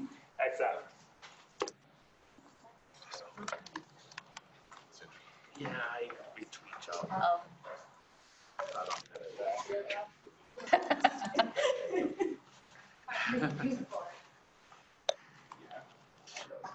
Oh, we got eight people in well, we'll I'm not starting until there's 35 people in it, because that's how many we're having lunch for. I'll be honest, I, this turnout is great. On Saturday, I almost didn't come. Um, okay, so I'll wait a couple more minutes, but my wife's brother, Lindsay's brother, made this website, so if it doesn't work, it's his fault. Hey, um, Troy, yeah. so Women Who Go does have a GitHub repo for slides. Oh, okay. So if you want to put them up there after, that would probably be the best way to disseminate information. I'll send you a link one day. That sounds great.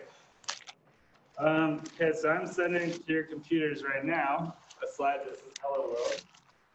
Um, and there's a link to something called GoPlay.space. I know we took all that time to install Go on your computers, but our first few programs we're going to do in the browser.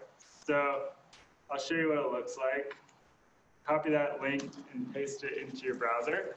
And you should see a little text editor like this with some code in it already. And there should be a run button at the top. So this little website lets us write some simple Go programs, run them, and see the output all in our browser. So it's just a nice, easy way to get started. Um, see if I can zoom in. So a question, what is this right here?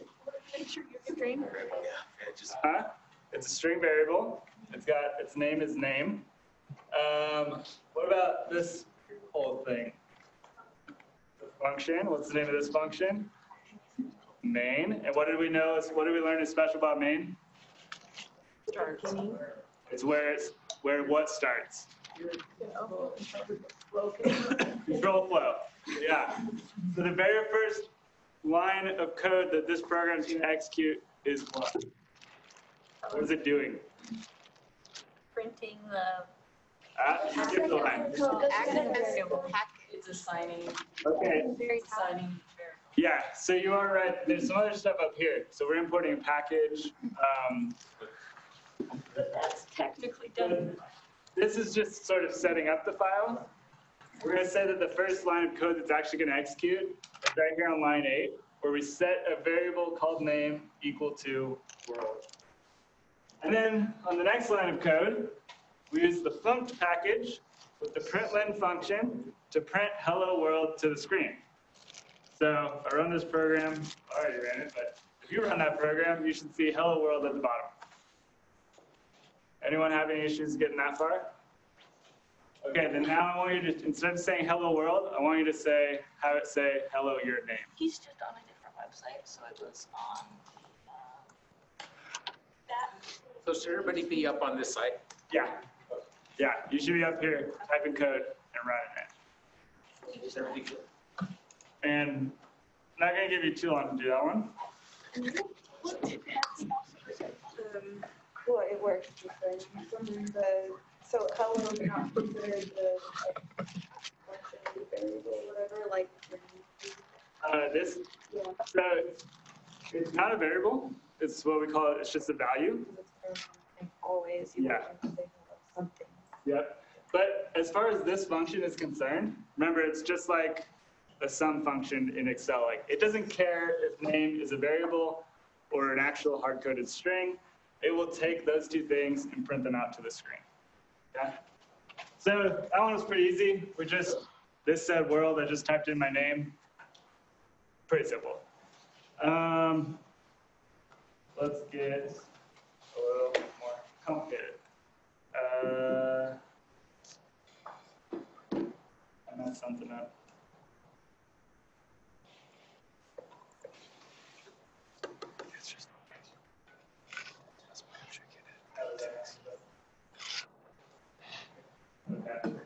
Next one we're gonna do is this variable assignment.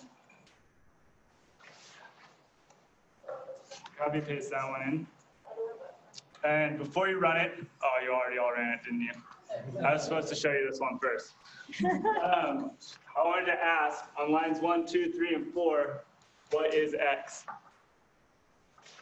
Wait, that's what we're running. I know, you all cheated. Um, So I guess we'll just run it. But X starts with zero because we created a new integer X right here. Remember how I said we have to declare new variables?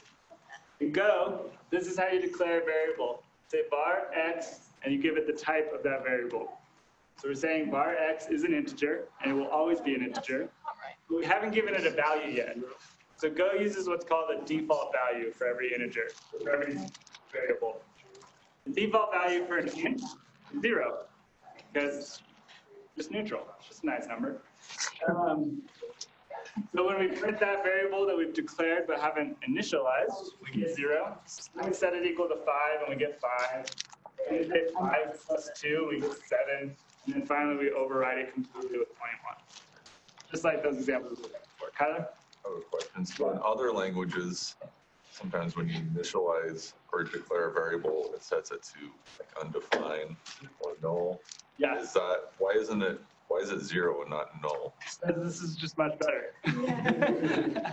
Um, yes, so some, var- some programs or some languages, if I tried this, instead of saying x is zero, it would say x is undefined.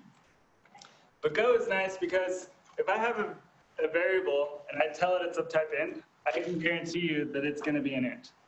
Whereas if this were undefined, that's not an int. So if I try and add undefined to two, I'm going to get an error. Whereas in Go, I won't get an error. I'll just get two. So I don't know. It's just nicer. Is there a notion of null and goal? No. There, there is. Well, Yeah. sorry. There is, but um, you have to explicitly set up that situation to happen. So, like, I guess, like, if, so th- there are some types that, like, their, their, their zero value or their initial value. Yeah. Um, I think maps are, Uh, maps, maps are nil, so like, so like, we can, we could talk about that later, but yeah, there are some, like, pr- most primitive types have like a same thing, like either empty string or zeros, but there are other things that are more complicated that have nils. Yeah. Um, okay, let's take, this is fun. Let's take some guesses. What's the default value of a bool? would be false. False, which is sort of similar to zero. Not really, but if you were in. Um, what's the default value of a string? Yeah, we call it empty string, which means it's a string of characters, but there are no characters. it's just two quotes with nothing in the middle. That's the default value of a string. Um, I don't know. Those are the primitives we talked about, so let's just stick, stick with those.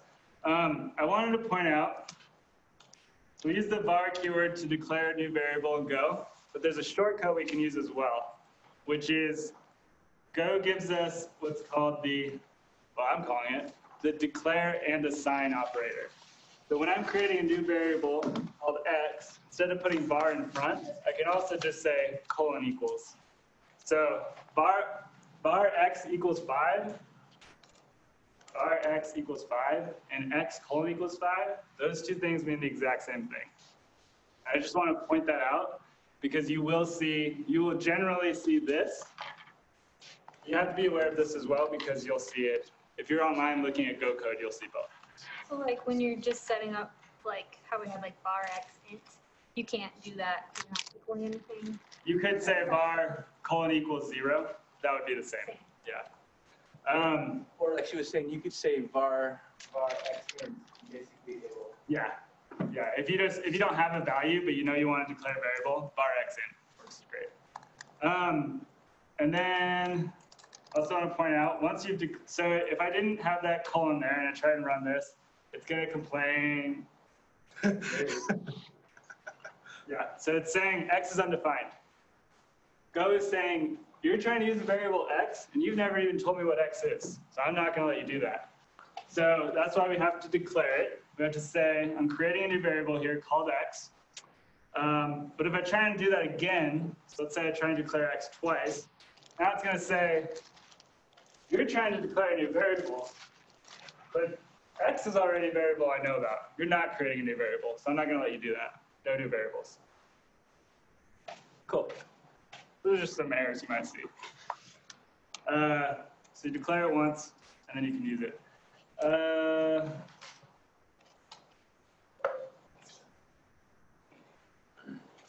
oh, I know.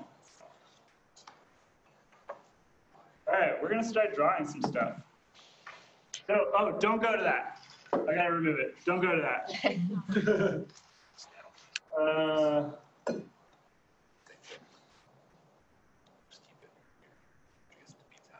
Sorry, just a sec. I, I got mixed up here.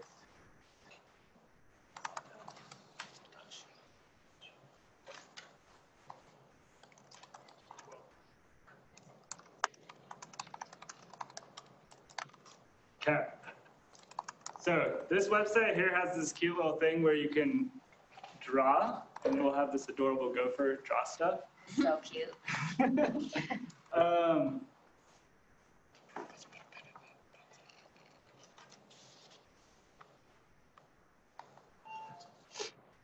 yeah, okay.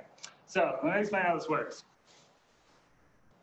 So if you think about a graph paper, um, a graph, there's like a grid, and there's zero, zero. Our gopher is sitting at zero, zero, and he's looking up. That's where he starts, okay?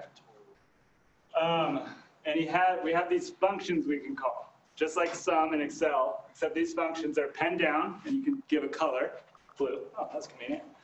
Uh, you can turn a number of degrees. So if it's positive, he's going to turn right 90 degrees.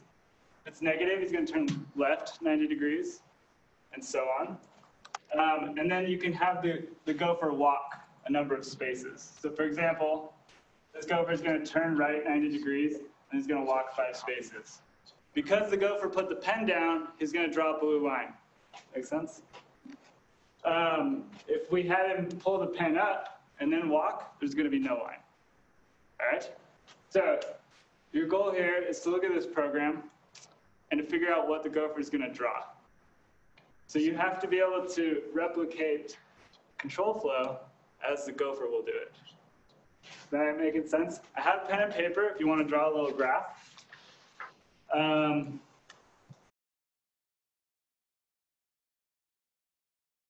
You good? All right. All right, let's do it together, and then we'll see how right we were. So our gopher is facing up. He's at zero, zero. The first thing we're going to do is put our pen down. Pen down. Blue. Then we're going to turn to the right 90 degrees. So now we're facing directly to the right. And we're going to go forward five spaces. So one, two, three, four, five. Then we're going to turn left and go forward three. One, two, three. And we're going to pull our pen up. Uh, four. Mm-hmm. I think we're using a different color. Red? Oh my gosh, look how lucky this is. so we just pulled our pen up. And we're going to go forward one space. And then we're going to put the pen down. We're going to go forward two more spaces. And we're going to say, we did it. All right, should we see if we did it right? Yeah. Drop the marker. Oh, thanks.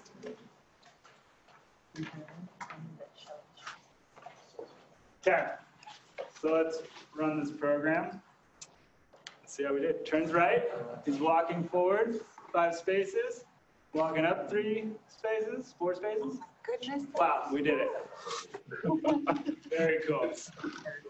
Um, any questions about that? So that's what a big part of programming is being able to read the code and follow along with it, just like we just did. It's usually not, or it's often not visual like this, um, but the skill is the same. It's one step. Of, it's one step at a time. You need to be able to follow each step. Okay, I will send that to you now, so you have that example. And the next one we're gonna do is you're gonna have to draw. You're gonna have to write the code to draw some lines. So I'm sending this one to you as well, and the instruction or instructions are in there. Basically, here in this main function, you can look at the last example we had, where you need to draw a line, a blue line from 3, comma 4 to 7, comma 4. Oh, sorry, I skipped one. Draw a single green line from 2, comma 3 to 2, comma 5. So, do you think it would help if I drew up here what you're supposed to end up with? Yes. Is that too easy? Too easy. Okay, I'm not going to do that. At least not to start.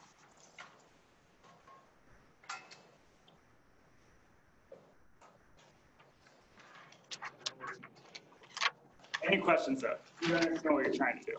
If you're feeling stuck, like that's not what I want. Can you scroll down so we have the list of commands? Yes. That would be beneficial to me. Have a computer.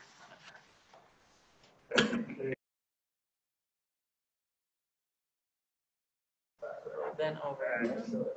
All right, let's see what Tony did.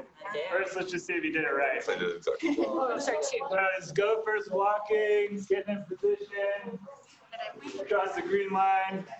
You went over Kind of did a long. That works. Thank you. So his gopher kind of did a just a little detour. It's not a nice stroll, um, but he still drew the lines in the right spot, which is really the end result we cared about. So I'm curious, what issues did you guys run into as you were trying to get this to work? I had a syntax error. Okay. I spelled something and put two T, two Ds in it. So what, do you know what you misspelled? I think it was pen down. I did pen to down. Yeah, something like that. Yeah. So if you try and do that, it doesn't know what pen to down means, and so your program won't run at all. So yeah, that's a good now, one. the part right there is it tells you what line. Yes. Yeah, thank you for pointing that out. So if you look right here, see how it says 16, 2? This 16 right here is the line number that the issue happened on.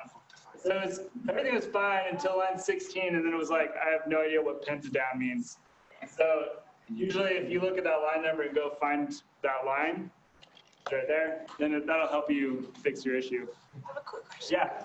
Is the spacing how you break it up into its own little group? Not just like um, developer preference. Is that how you like to see it, or? Yeah, that, that's a great question. So she asked, um, the spacing here, does that matter? Is that just personal preference? Um, and in Go, it doesn't matter. Um, it is personal preference. And Go will sometimes, if you put two spaces, sometimes it'll combine, like just, it'll shorten them into one. So Go is a little bit opinionated about how you make your code look, um, but it doesn't change the way the program runs. You share it with other developers, like they're looking ready to turn. Is there something that's more like appreciated or common, or does it really matter? Can step through. Um, I would say it depends, one, on the language you're using, and then also on your company. So most companies will have a style guide of how they want all of their developers to write their code so that it all looks somewhat uniform. Fortunately, remember I said Go values simplicity. Go says we're just going to write one style guide that every Go developer is going to use, and it's just going to come with the language by default. And so uh, generally, when you look at Go code from company A and compare it to Go code from company B, they're going to look pretty dang similar in terms of style. Um, yeah, good question. Any other questions? Is this Any space. Yeah. space available to just like sandbox? This? Yeah, this Yeah. website. Yeah, yeah, this is just, Doesn't have to be like during this course, like I can go home and just play around. right, this isn't mine, someone else wrote this website, so. You can take credit. Um, cool. Okay, so this is a good example. I'm going to show what I think is a better example. Really good, Johnny. Um,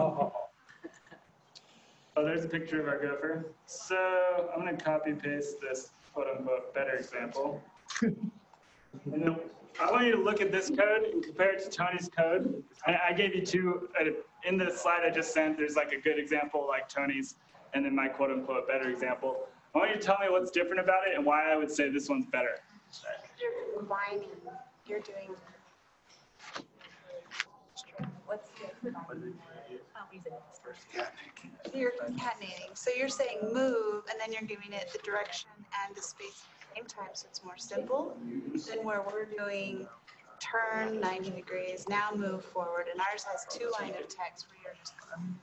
Yeah, so I'm, I've created new functions that do multiple steps because I noticed that I was repeating myself a lot. I was turning and moving and uh, what else was I doing? I guess, oh, and then I was drawing lines. I was putting the pen down and then moving. Um, so rather than repeat those steps a bunch of times, like in Tony's example, I'm sorry. Um, rather than repeating this, these, these actions a lot, I wanted to see if I could consolidate those things into a more descriptive action. And the goal here is that I want my main program to sort of read like a storybook, um, and a storybook that tells me what it's doing. So this storybook is hard to understand. I would have to in, like, I would have to draw a graph paper and figure out exactly where my gopher is going, right? Um, it's hard to do mentally because there's so many individual steps. Whereas this story is a little more succinct and a little more exciting, if I would say so myself. I'm moving to the right two spaces, and then I'm going to move up three spaces, and I'm to draw a line that's green, and I'm going to draw it straight, and it's going to be two spaces long. I've also, rather than using 90 and negative 90, which can be hard to remember, was this right or left, is negative right or left, I put those variable or those values in some variables at the top of the program. So we have right, which is 90, left, which is negative 90, and straight, which is zero. I just want to keep going the direction I was facing. So these variables are an abstraction for right, left, and forward. Got it? Abstraction, I use that word again. Um, so this is a good story. Tony's was a good story too, but it's harder to understand. That's suspense. Um, questions about that? So you can, yeah. Question, is there a way you can, um, like split screen and step through your code as you're? Yes. Um, I'm not sure I understand. Oh, like watch, So like if we were watching. you run it, you want to be able to see the code at the same time? Yeah, like can you step function and, and you can see him do the function and then you step down through a function to see the next. That. Um, Ultimately, like I want to see what happens when you, I, I get all the way down through your first function to where you're drawing the green line straight to. And then I'd like to see how your code moves when you, when you move to the right, I'd like to see move. And then why does it have the draw line left instead of straight? I see. Um, well, let's, yeah, let's try this and see if this helps. Oops. I don't know if this is gonna be exactly what you want, but it's worth a try. So, on the left, we have my code. And we'll run this. So, he's moving to the right, he's moving up, then he's drawing a line that's green straight, then he turns right once. Oh, it's too fast. But he's here, he drew the line straight, then he turned, he moved right one, and then moved, he was facing this way. Then he moved right again and moved one. And then he drew a line that's blue and he turned left because he was facing down. So he turned left. Oh, Okay, I see what did. Did I answer your question? Okay.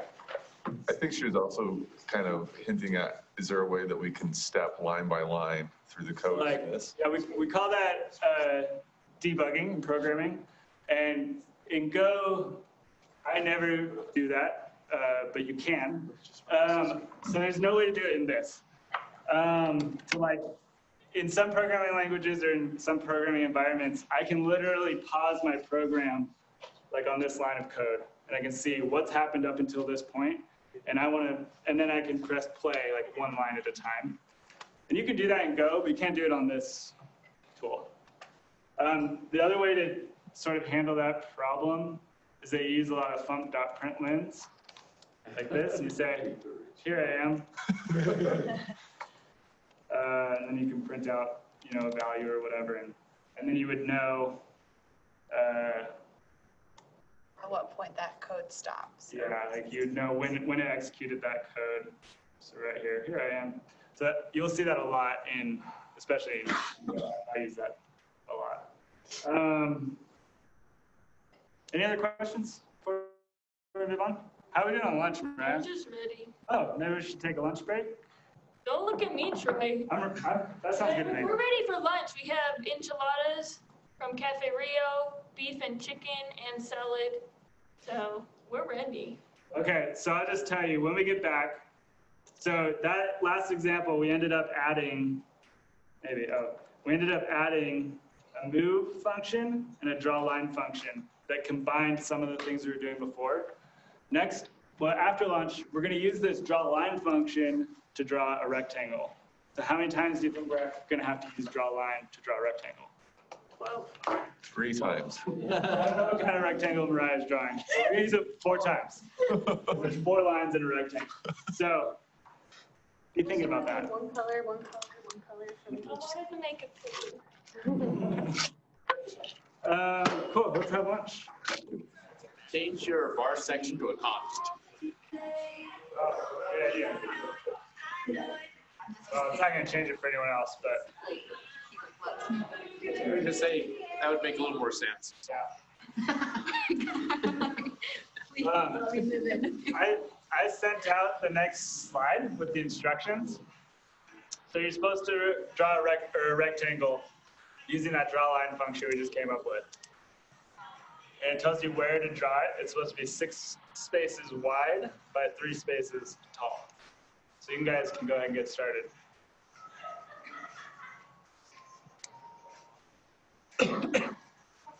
Hmm.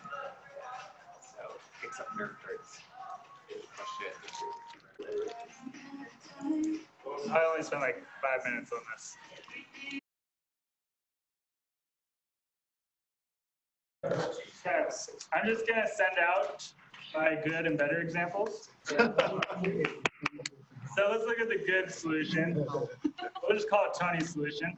Um, I do something. So it's pretty good. It reads like a nice story. We're gonna move into position. Uh, so we move left one and then right five. Oh, left one, right five. We're up here. Does that sound right? How did you move left one and right five and then go up? Because I turned left, so I turned this way. Oh, you, and then you went to your right. Okay, so then I draw a line to the right. I go six. Sorry, I didn't Down understand. three. Then I go right again six. Then right again three, and end up where I started my rectangle. Okay. So do we think this is going to draw a rectangle?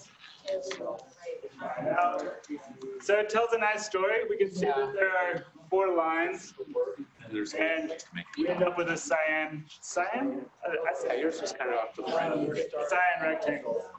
Oh, you're just asking for the Okay, I'm going to show you my better example. So if I, if I want to do like, And it's better for the same reason as last time. Now, we're gonna move into position and then we just call the draw rectangle function. Now it's very clear what we're doing. We're drawing a rectangle. So this is a nice story. Um, and then if we're curious, what does it mean to draw a rectangle? Then we can go look at that code, draw a rectangle.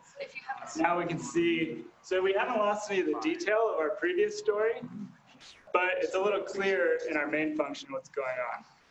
Are you guys following this? Yeah? Um, so our draw rectangle function takes the color of the rectangle, how wide, how long we want it, and how wide we want it, and then it calls those draw line functions four times. Just say draw rectangle. Right.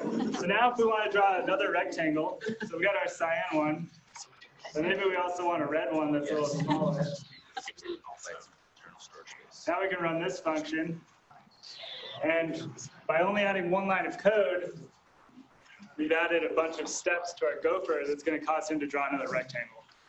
Very neat. I'm going to speed it up a little bit. There we go. Cool. Okay. So go back, do you have a, What? you have like a move to function? There's not a move to function. Okay. It's- The gopher doesn't know about coordinates at all. He just knows about directions and length. Um, I'm just saying, did you write one? I didn't write one. It sounds hard. um, okay, I got one more thing before we take all of this drawing stuff to your. Oh shoot! Don't look at that. This is another Pictionary game. So, I want you guys to figure out what we're draw, what the gopher's going to draw here. and notice that this story is much nicer to read than if it was a bunch of turns, pen down, pen up, that kind of stuff. So, take one minute or so, read through this program, and see if you can figure out what the gopher is drawing. Oh, I should tell you, the, triangle is going to draw a triangle with three sides that are five spaces. It's an equilateral triangle. And he'll, he'll start in the lower left corner. Drawing a house. Drawing a house. Tony guessed it. He's drawing a house. It's got two rectangles and a triangle. So let's see how it works. He moves up and draws a little green door. He's gonna move to the corner of the frame, start drawing the frame. And then finally, he's drawing cute little roof. Very cute. Uh-oh. Cool. So, we told a nice story about drawing a house. We're gonna move, gonna draw a rectangle for the door, again, draw a rectangle for the frame, and then we draw a rectangle for the roof. Um, one thing I wanted to point it out, or point out is that Go and all programming languages that I know, you can comment out certain lines. So let's say you have like a long program and you're trying to figure out how it's working, um, but there's some code that you don't want to execute right now. You can just put double slashes in front of it, and that will comment those lines out. And now your program just will ignore those lines. So if I run it now, you know, we'll only get part of the house. He ends there. So, okay, questions so far? Are you guys ready to take this drawing stuff onto your laptops? We won't be able to watch the gopher anymore, but it works the exact same. So, um, you already installed one of these things. You installed the drawing package, although if you run it again, it's not going to hurt anything. Then we need to install this package called, called Easy Input. What's a package in Go? Who remembers? I do, but that's cheating. That we want to use stuff with. Yeah, it's a, a group of functions, variables, and data types that we want to share to other people. So this drawing package has functions for drawing. Easy Input has a function for taking input from a user. So go ahead and install those by running it in your command line interface. Remember how to open that in VS Code? It's uh, control tilde. Oh, control tilde. And it's go get something. Yep. And then I also sent you another go get called Drawing Starter. Your So the goal is to open the Drawing Starter pa- uh, package and to be seeing this new VS Code.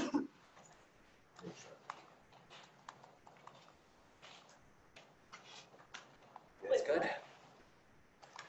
Good.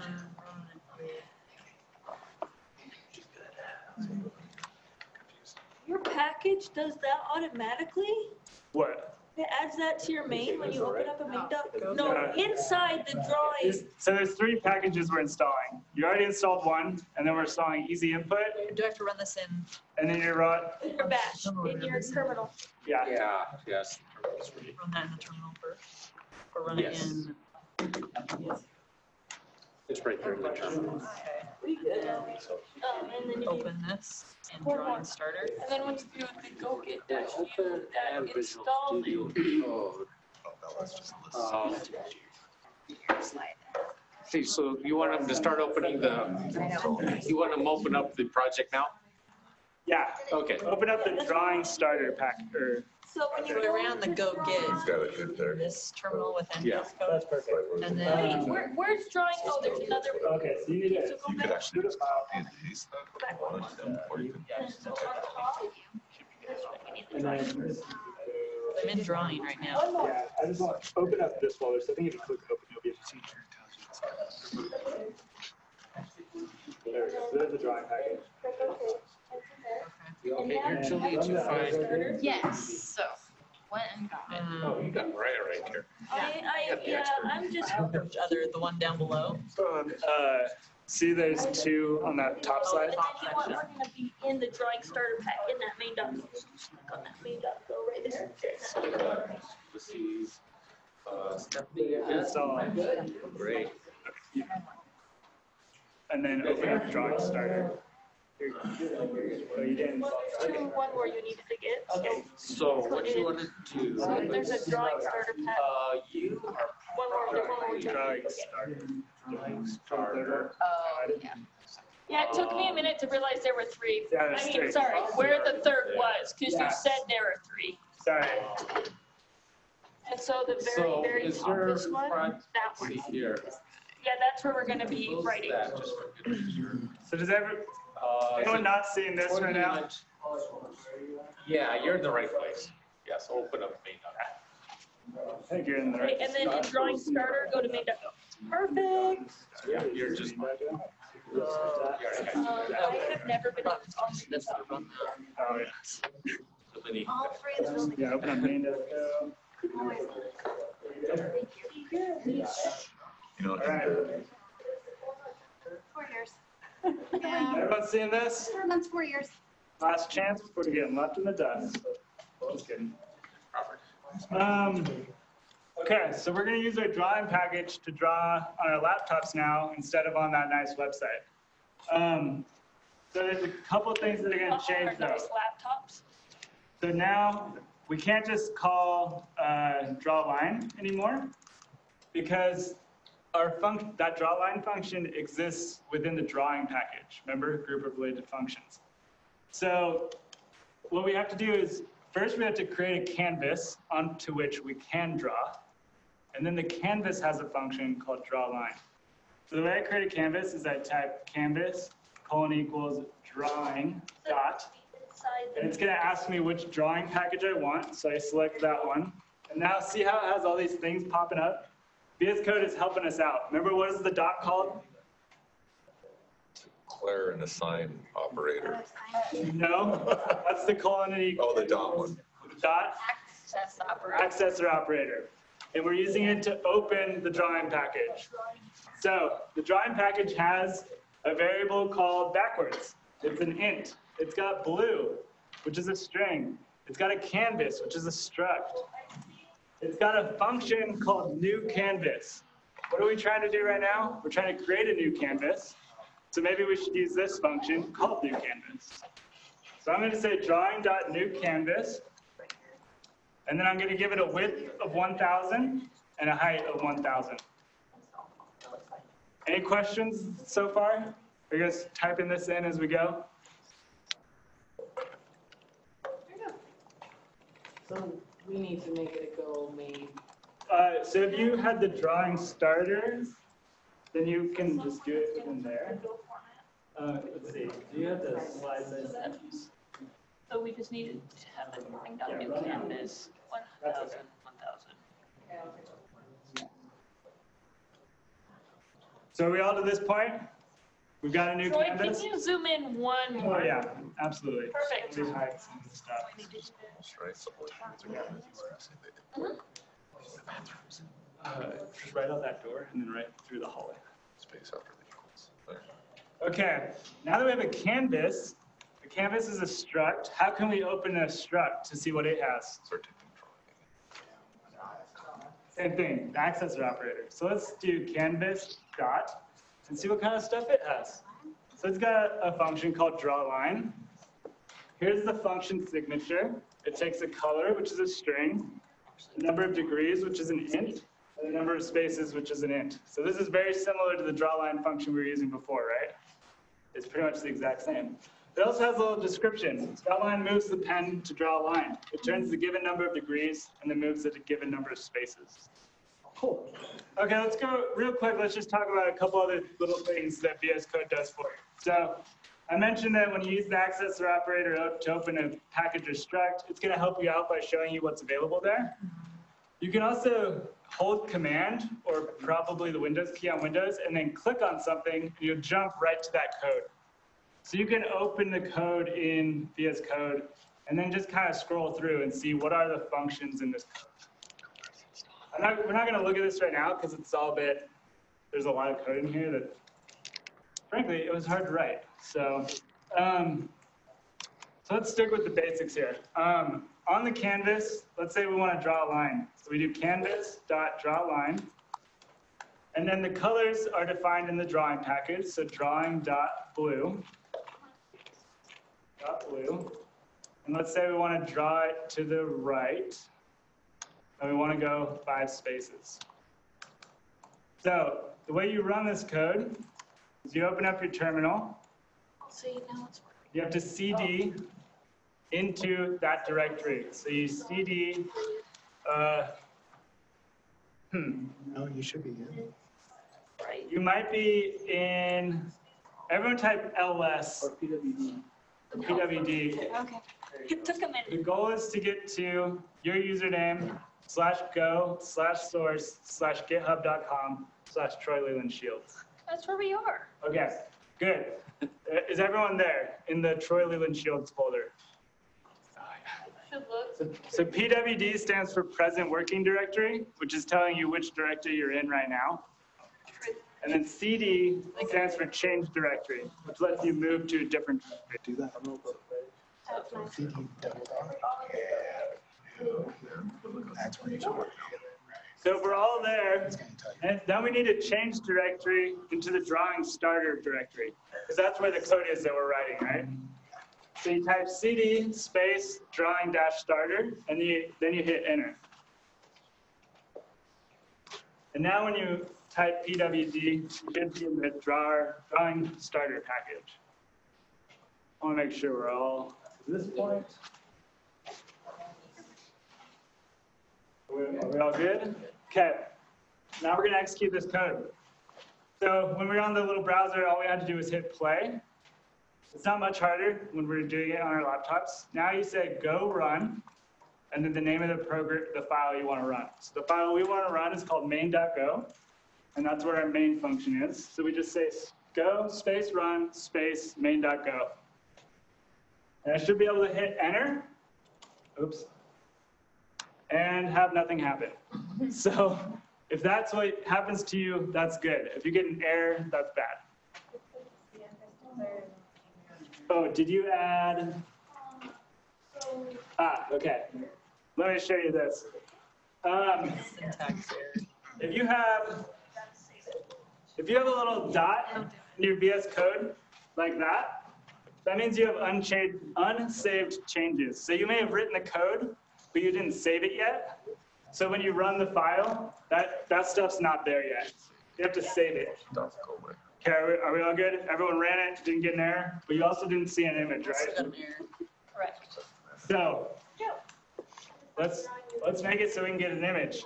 Our canvas requires us to save it to an image file. So we have to say canvas dot save image, and we have to give it the name of an image file. So I'm just going to call it image.jpg. I think I had a lowercase lowercase blue instead of capital. Yeah, yeah, capitalization. I did that one. I guess, should we bring that up for like, people run into the capitalization? Yeah, yeah. So you'll notice when we were doing our programming on the browser, we used lowercase b blue. But when we're accessing things inside of a package, it's always going to be a capital letter here because in Go, when you have a capital letter, that means that's something that you want to be available outside of the package. So we're saying drawing dot capital B blue. Uh, if it were a lowercase blue, we wouldn't be able to use it outside of the drawing package. Just think about like your Facebook permissions, right? Like you have public permissions to see, everybody can see your, view your Facebook post or private. That's kind of like the same idea is that capital letter, if you make it, if you use a big capital letter, it means, hey, everybody, you can look at, you know, access my stuff in my package. Or if you do lowercase, it means you can't do it. Yeah, yeah. Where is it saving all this? Is this in our Go folder on our drive? This, this code? Yeah. So it's all saving it, yeah, it's saving it in this directory right here. So for you, it's your users folder, your username, and then slash go, source, github.com, Curly Legit. So it is the Go folder we created, but it put a GitHub Yeah. source. And that's how, that's how Go organizes its packages. It's always uh, broken down like this. So now if I run this code, I should still not get an error, but I should end up with an image file, and you can't really see it very well. Let me choose a different colors. Let's try cyan. Um, and now there's a little line there. Wow, it's so pretty. Can you make the line thicker? Is that an option? I'm No. not saying, I'm not saying, hey, Troy, let's rewrite your code. I Nope. was just wondering if that's. There's, there's no option to make the line thicker. Sorry. So I want to make sure everyone can draw at least a line and open the image file. Because if you can do that, then you can go home and draw as much as you want. What? Are- I think we all drew a line.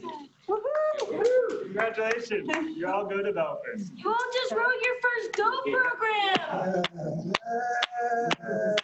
I want you to copy, I just sent you some code.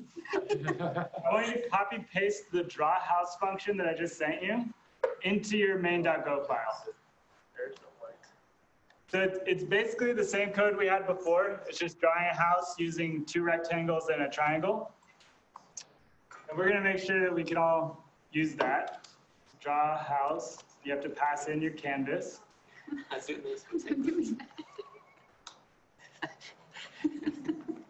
Now I have a nice house. So I'll give you guys a minute to get to this point. Any questions thus far? There's a problem here. What happens if I, if I say go run main.go and then I just hit enter and I don't type anything in? What's gonna happen? Yeah, I honestly don't know what's gonna happen. Try it, try it. Oh, well. Seems like it didn't work. Um, so that's bad. We should probably protect our program from bad users like me. So we're gonna make sure that the user types something in. And the way we're gonna do that is with what we call an if statement. So we're gonna say if file name, and we're gonna do two equal signs, equals empty string, then we're gonna print an error message. And then we're just gonna return, which means stop, it- we're gonna stop this, ex- the execution of this program. So, remember we talked about the empty string? It's a string of characters with no string, with no characters in it. Um, so if the file name is equal to this empty string, then we're gonna execute this code. What do you think we're gonna do if the file string, file name is not equal to an empty string? Yeah, we're just gonna skip this code. So remember how I talked about control flow and how certain things in your program can change the way control flow works? Normally, control flow would go from top to bottom, executing every line of code and executing each line one at a time. This if statement is a control flow statement that can tell control flow to either go into this block of code or to skip it entirely. Neat, right? Any questions about that if statement? Um, something you might see somewhere is that you might see a not equal like that. The exclamation point just is the opposite. It means not equal. But here we want to say if the file name is an empty string, then we're going to print an error message. So let's try that out. Go run main.go. I'm just going to hit enter. How dare you? But when I go run main.go and I give it a file name, houses.jpg, it did not print out that error message and it said file. Cool. Questions about conditional? Yeah. So you don't need a space between the print, the uh, quotes to make it blank, just, So a space, good question. The space is a character, and so this is no longer an empty string. It's like, as far as Go knows, this is like just a regular, it could be someone's name. Um, But that's a good question. And honestly, if we were to, if we were to really write this program, we would want to make this a lot smarter because I probably shouldn't be able to name my file empty space. So, and you don't need an else statement, you can have an if statement without an else. yeah, we don't need an else statement, but we can. In Go, you can have an else statement like, good job, you named it. You don't have to. You don't have to. So now this function is gonna execute either this code or this code, but never both.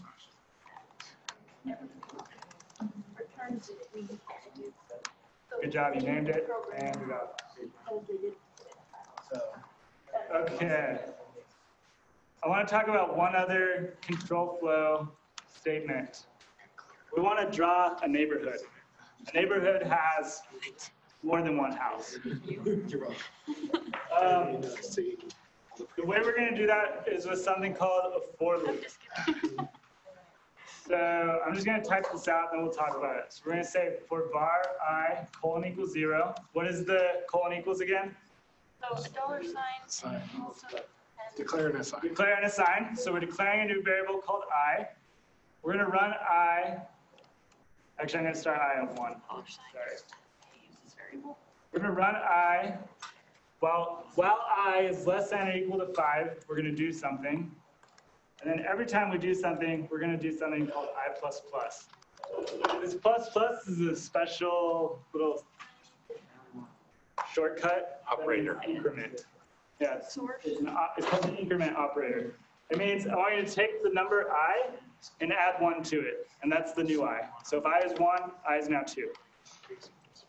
Um, so for i starts at one, while i is less than or equal to five, I want you to draw a house.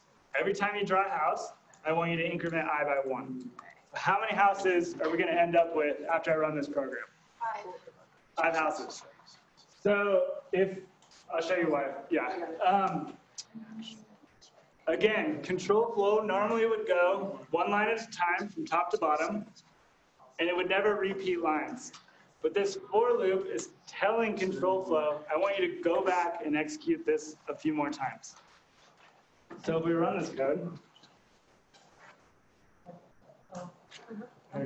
neighborhood.jpg. Wow. Okay, I forgot something. We got five houses, but they're all on top of each other. Yes, that's my kind of neighborhood. And that's because each house. That's what I can afford. Yeah, th- Those are townhomes. Um, But each house is gonna, once we've ended drawing the house, we're like in the middle of the house. So we need to move our, Just above everything our else. pen or our gopher to the right. Yes. Do it exactly where he has it. I think a couple of spaces. So every time we draw the house, then we're gonna move to the right. Oops. I should have chosen a shorter file name. Oops. I meant- I like it. Very cool. Now it's. That's our house. That looks like one of those concept art pieces. Um, I think it has to do with, On that colon, and then you do a space. has do with set, the way the gopher is facing when he's done drawing the house.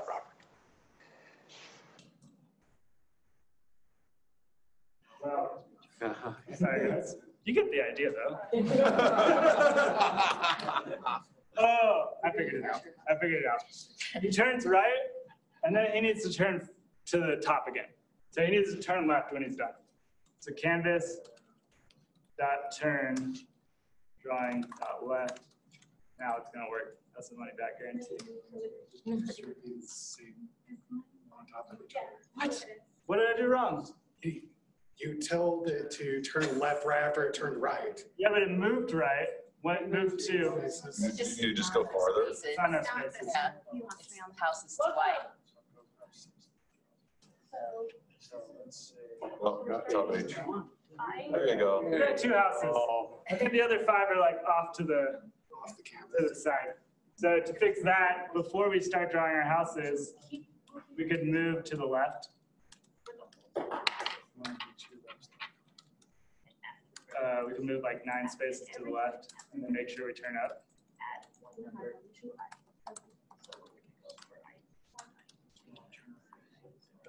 Anyways, now we're getting into the weeds. This isn't the important part. So- The important part is how we got a few houses. A few houses, hey. The important part is that you can use a loop and if statements and input to draw some interesting things. For example, I think in this drawing examples, uh, where was the colon? ones? Well, Oh, wait. Here's, here's a star. Uh, There's a nice polygon.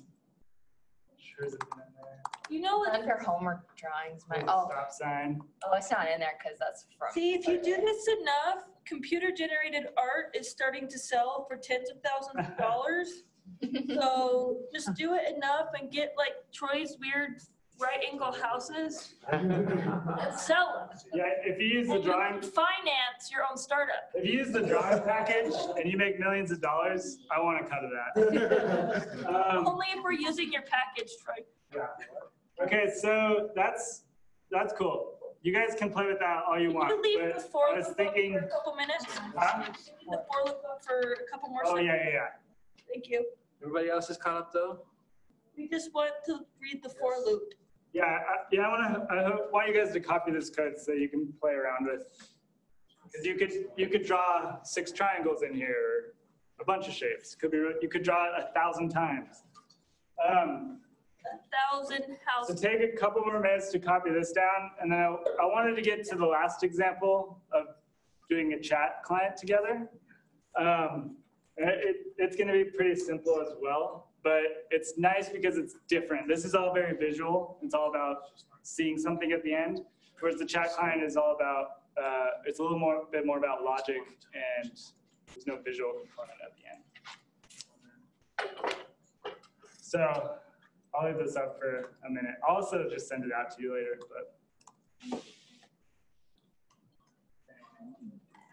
Or you could just put it on the GitHub on Women Who Go because that's why it exists. Yeah. I'll do that as well. Troy's amazing. He'll be the first person to publish on it that's not me. Um, oh, it's because. Oh, sorry.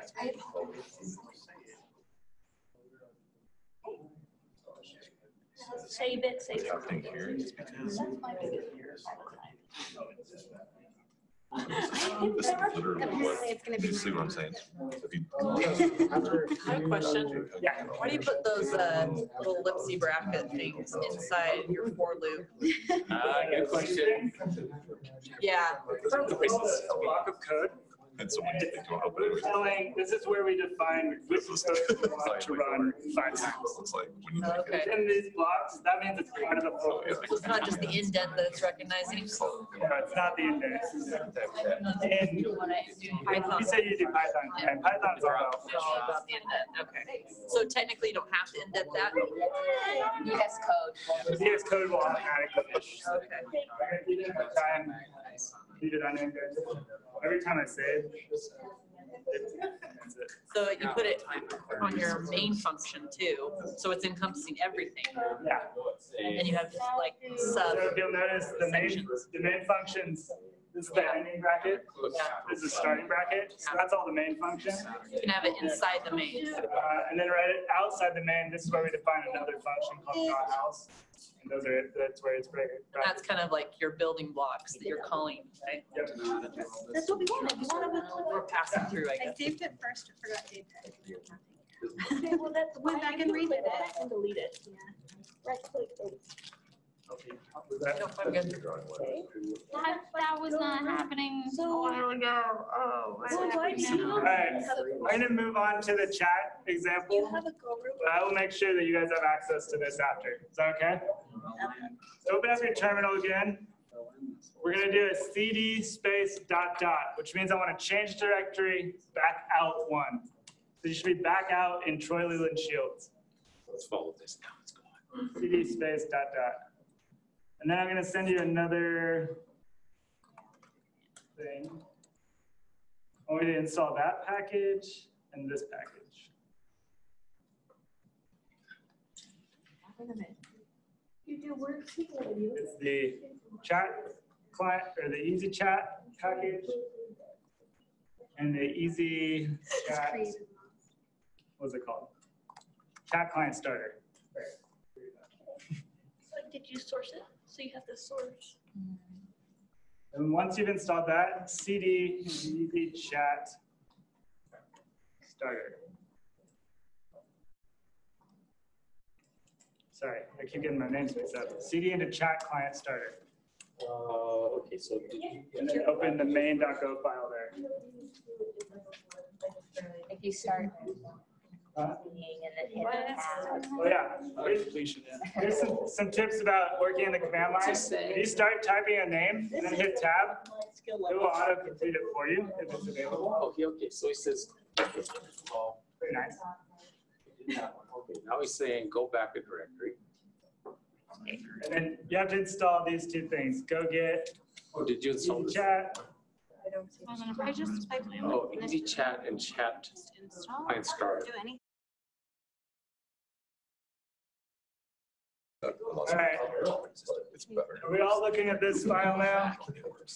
Somebody can read it. Okay. You good? You We all- Are we all good looking at the chat client starter main.go? All What's your name over? right, we're gonna keep going. What's your name? Emma. Cat, Good? for the client? E- No. Chat client starter, yes. Okay, thank you. Yeah. Okay, uh, open, So we're gonna start, step one is we're gonna take some input from the chat user. How do we take input on the last example? Anyone remember? Capital. We asked them, and then what function did we use? We typed it in the. Oh. Take input. where, find it now. Close, take input, Take input. yeah. So we use the easy input package, easy input, we're gonna use dot, and it has a function called take input. And what did we, so it returns a string, here's the function signature. It's called take input, it takes no parameters, but it returns a string. And what do we do with the string? We did a prompt, didn't we? We did do a prompt before. That's a good point. Let's add the prompt in first. So we did fmt.println. And the thing we're gonna ask them right now is what's your username? We're gonna take input and we need to remember the thing that they input. So we're gonna create a variable called username, colon equals. Um, the other input we need for them to give us is the IP address of the chat server. So the way this is gonna work No, no, that we're not saying you did anything. we're gonna have one person, He can fix it. we're gonna have my computer, And two instances of, of Go and stuff. my MacBook Pro, uh, that's the chat server.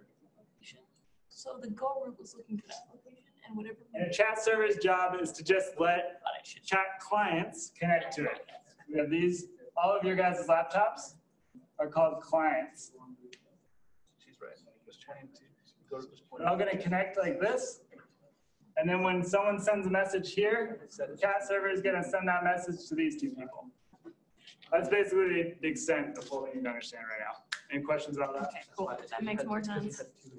So, in order for you guys to be able to connect to my computer, you have to be able to type in the IP address of my computer. So we need another input, which is func. We're gonna prompt the user and say, what's the IP address And they're gonna say IP address colon equals easy input dot take.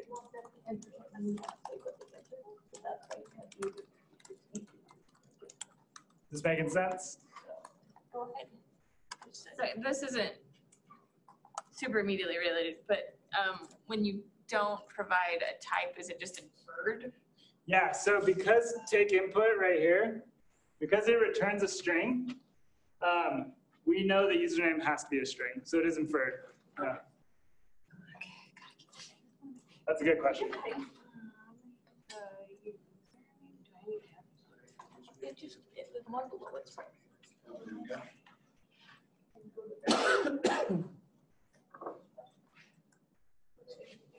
So once we have a username and IP address, we can use the easy chat package. I'm going to hit dot. And the easy chat package has something called a chat client, which is a struct, chat message, which is- a struct, and it has a function called join chat room, which sounds like something we want to do, right?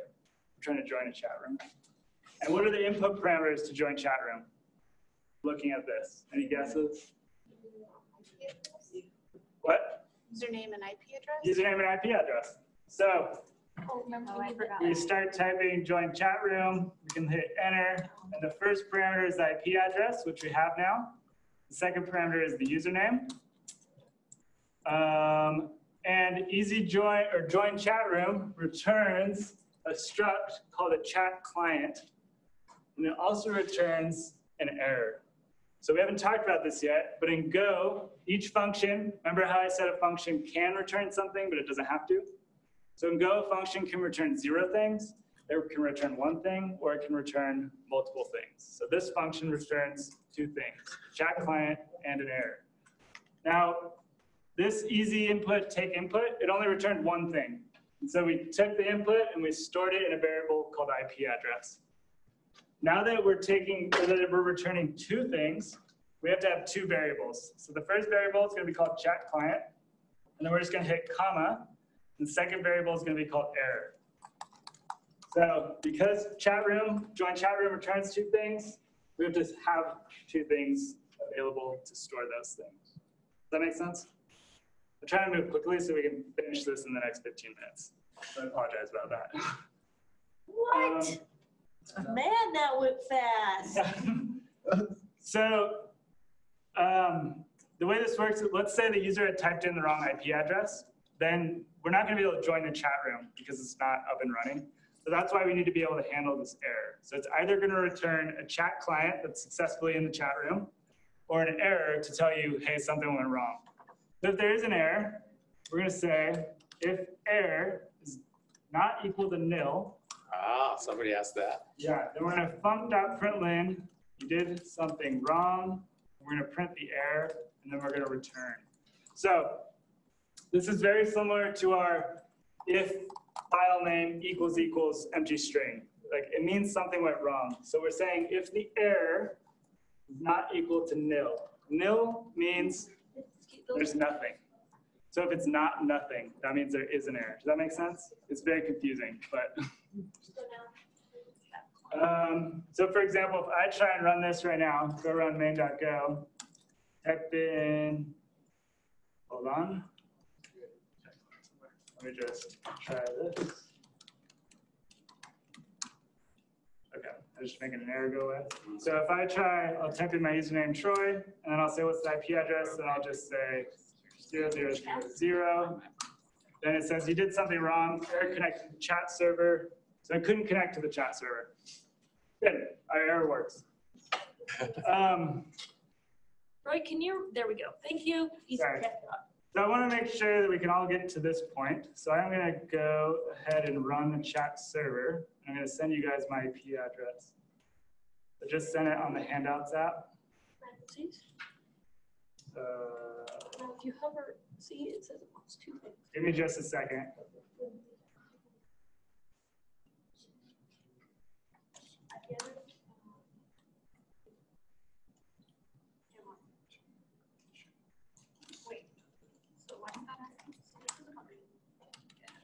Okay.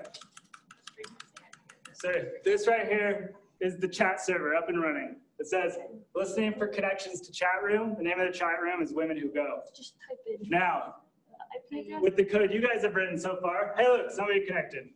Macy connected. Good job, Macy. Um, No, Macy, way to be your So- dad. Let's see.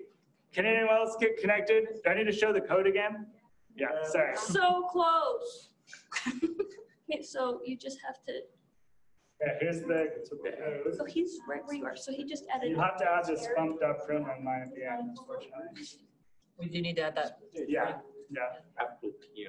The- The reason you have to do that is because if you declare a variable and then don't use it anywhere, Go gets mad at you.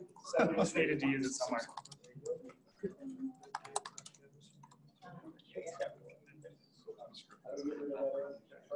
Uh, if you just add this bumped up print line at the end. Run, go run. Then I just do go. What's the, what's the IP address? Oh. Hey, we got another person. Where is easy? Jeff said, chat? hello world, and Am I disconnected. running? Oh, It's another package that we imported. Okay. What? Just do LS. Let's see. Anyone having trouble connecting? Oh, we got so many connectors. You're all hard to destroyer. Why does it disconnect you immediately? Good question.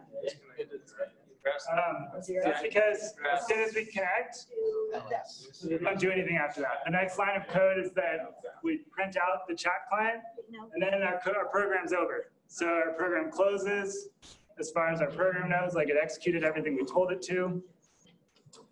So, yeah, that's a good question. That's why tab didn't work. Because she You was don't stay connected to the Yeah. IP address. Now it's connected, let's see. Huh? Oh. He's connected. Now it's there, Emma's there. Olivia, Oh. and- Wait, wait, wait, wait, wait, wait, we're gonna get there. Okay. Wait another minute. Okay, now, put your username. So whatever name you want.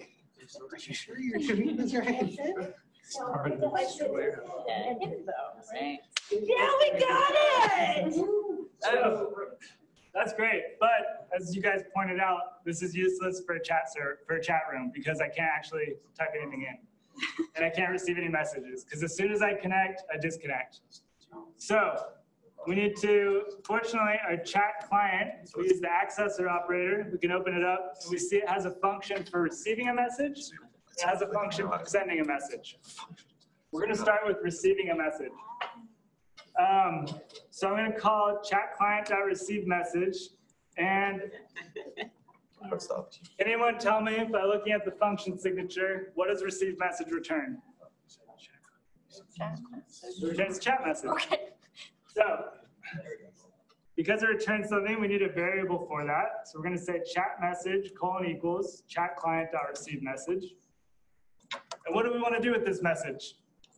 Great, we got a message, but what do we wanna do with it? Respond. Send it. Yes, before we can respond, we need to be able to read it. We're gonna say fmt dot println chat message dot body. Chat message is a struct and it has a field called body. But we should also probably print chat message dot chat message dot from. Okay. Now, if I run this thing, print my name or get my name. Uh, I got a message here. Do you guys get that message? This message is from the chat room. The chat room is called Women Who Go. That's the first message you get when you connect. Now, you used localhost. I use localhost because I am running the chat server. You guys have to use my IP address. Um, still not useful because I, I'm only getting one message for one, and I'm not being, I'm not able to send any messages. So the next thing we're gonna do is be able to send one message at least. You Do, but you need it. So we're gonna say chat client dot send message, and we want some message text. Where do you think we should get the text from? Highlight over that and see what it says. Uh, easy User input. And how do we get user input? It's not the. The input. Easy input. So we're gonna say text colon equals easy input dot take input. Now, I'm gonna run my program. It's gonna ask for my username, my IP address, and it says women who go, and now it's just waiting. What is it waiting for? To say something. It's waiting for me, the user, to type something to send to someone else. So I'll say, hello. But then it exits, but we can see I did type hello. So I want to see if you guys can all type something to the chat server. And we got eight, seven minutes. We're gonna get there. Huh? Back to the code, I'm sorry. Oh, somebody said something. Great. Travis, are you speed typing over there? Is that why you stole the computer away from your daughter to speed type? Okay. Yeah, text.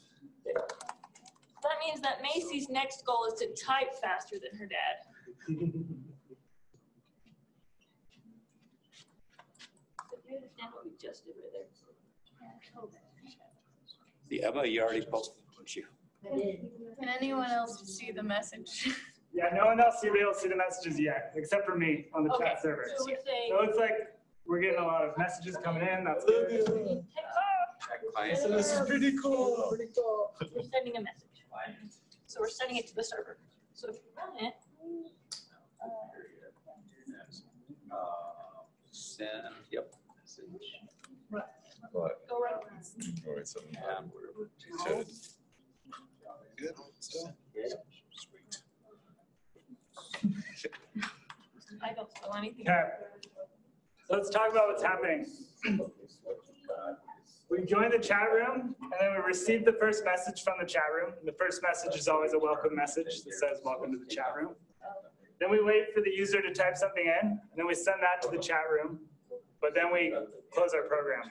So we never able to take another another message from the chat room and we're never able to ask the user to send another message. So really what we need to do is we need to infinitely be receiving messages. We need to infinitely be asking the user what they want to type. Um, I was hoping we'd have more time to go over this, but we only have five minutes, so I'm just going to kind of show you the final solution and we'll talk through it. Um, so let me open up the chat client. So now what we do is we join the chat room, and then we have a function called receive messages loop and send messages loop. So we have to talk about this Go keyword for a minute. One of the things that Go does really well is what we call concurrency. Remember how I talked about control flow, there being one bouncy ball bouncing through your program? Well, sometimes you might want like two bouncy balls going through your program, doing two things at once. So when we say go, and then we give a function, what we're doing is we're taking that one sing-along ball, splitting it into two. We're saying, one of these sing-along balls go execute this function, and then the other one just keep going and executing the other function. So we're gonna look at these each one at a time, but our program is doing them simultaneously. So the first one is the receive messages loop. Remember how we talked about a for loop and how we can do something a set number of times? Well, this for loop doesn't have any number of times. We're just doing it infinitely. We're going to infinitely wait for messages from the chat server. So for, and then this block of code, it's just going to keep repeating.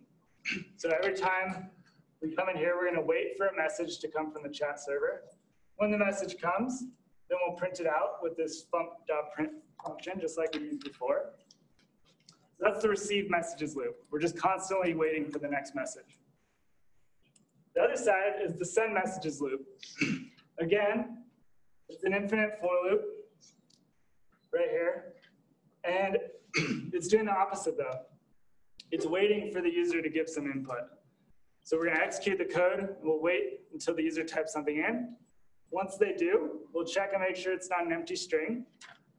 Um, if, so if it equals an empty string, continue just means skip to the next iteration of the loop.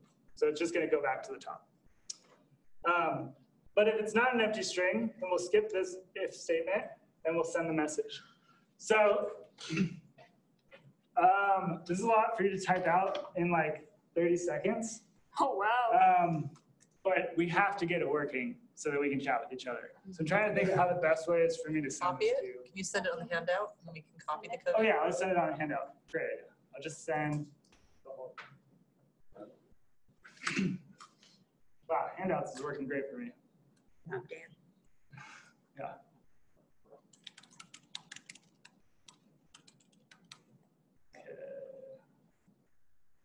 I hope this works pretty well. Okay, so you can copy that whole thing and paste it into your program. And then we should all be able to chat with each other. Yeah, you'll have to paste it over what you have, but it's very similar to what you already have.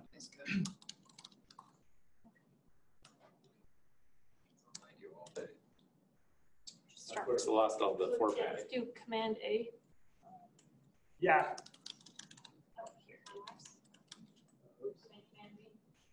Oh, I also gotta tell you, if you need, well, I'll tell you in a minute.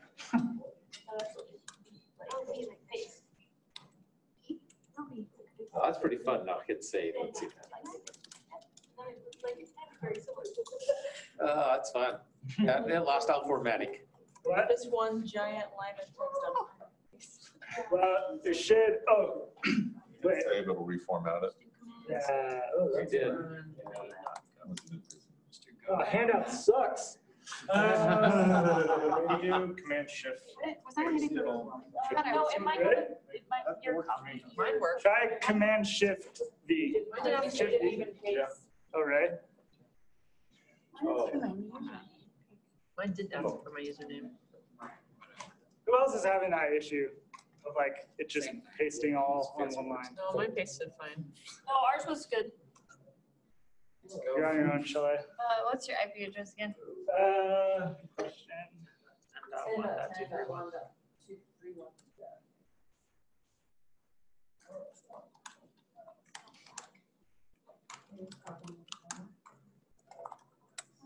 Go. Here we go. Oh, wait, so Wanna just type? it could be out. Didn't have that in there. There you go. Wow. I love, And you're getting everybody else's stuff too. it's a little bit of work because when typing, Some, somebody else will send something and interrupt. all right. What? Enough. That's You true. think we shouldn't run chat servers off the command line all the time? So bad. Slack via command line only. So, Kevin asked, how do you end it? Since there's two infinite loops, this thing's just gonna run forever. So your laptops are stuck like this. Just kidding. Um, you just hit Control and then C. That's the close command. It'll it, it'll end your program.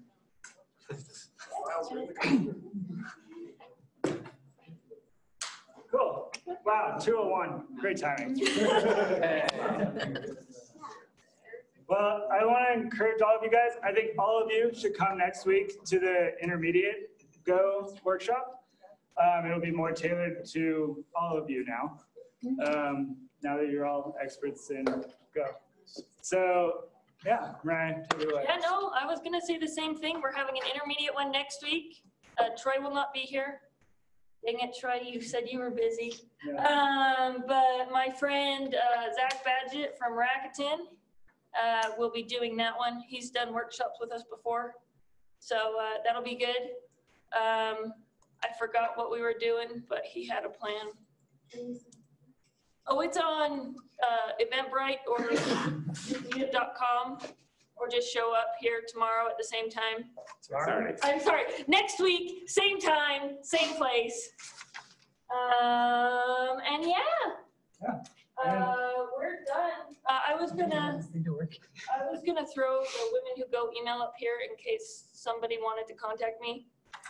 Um, and this website was for Troy and Lindsay's stuff. If Yes, so if any of you ladies or any of you guys who know ladies that might uh, want to learn more about coding, Troy and I, we've already done our pilot program and we're looking to start a beta with like uh, six to 10 women. It would be completely free after work hours. Um, So if you're interested in wanting to learn more coding and do more, it's more full stack, but we start with Go, learning backend first. So um, you can go to our website right there. Please pardon any typos or weirdness, which Chalet already found for us, because we're pretty, we're pretty uh, ghetto. so, um, anyways, you can go there and just uh, see if you want to know any more. We'll let you uh, know info on like when we're gonna start and how long it's gonna take, all that kind of stuff. That's all we got. So yeah, here's our contact information. Uh, feel free to hang out and ask questions, chat as long as you want.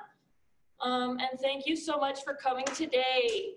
Uh, yeah, that's all we got. And I just want to give Troy a hand.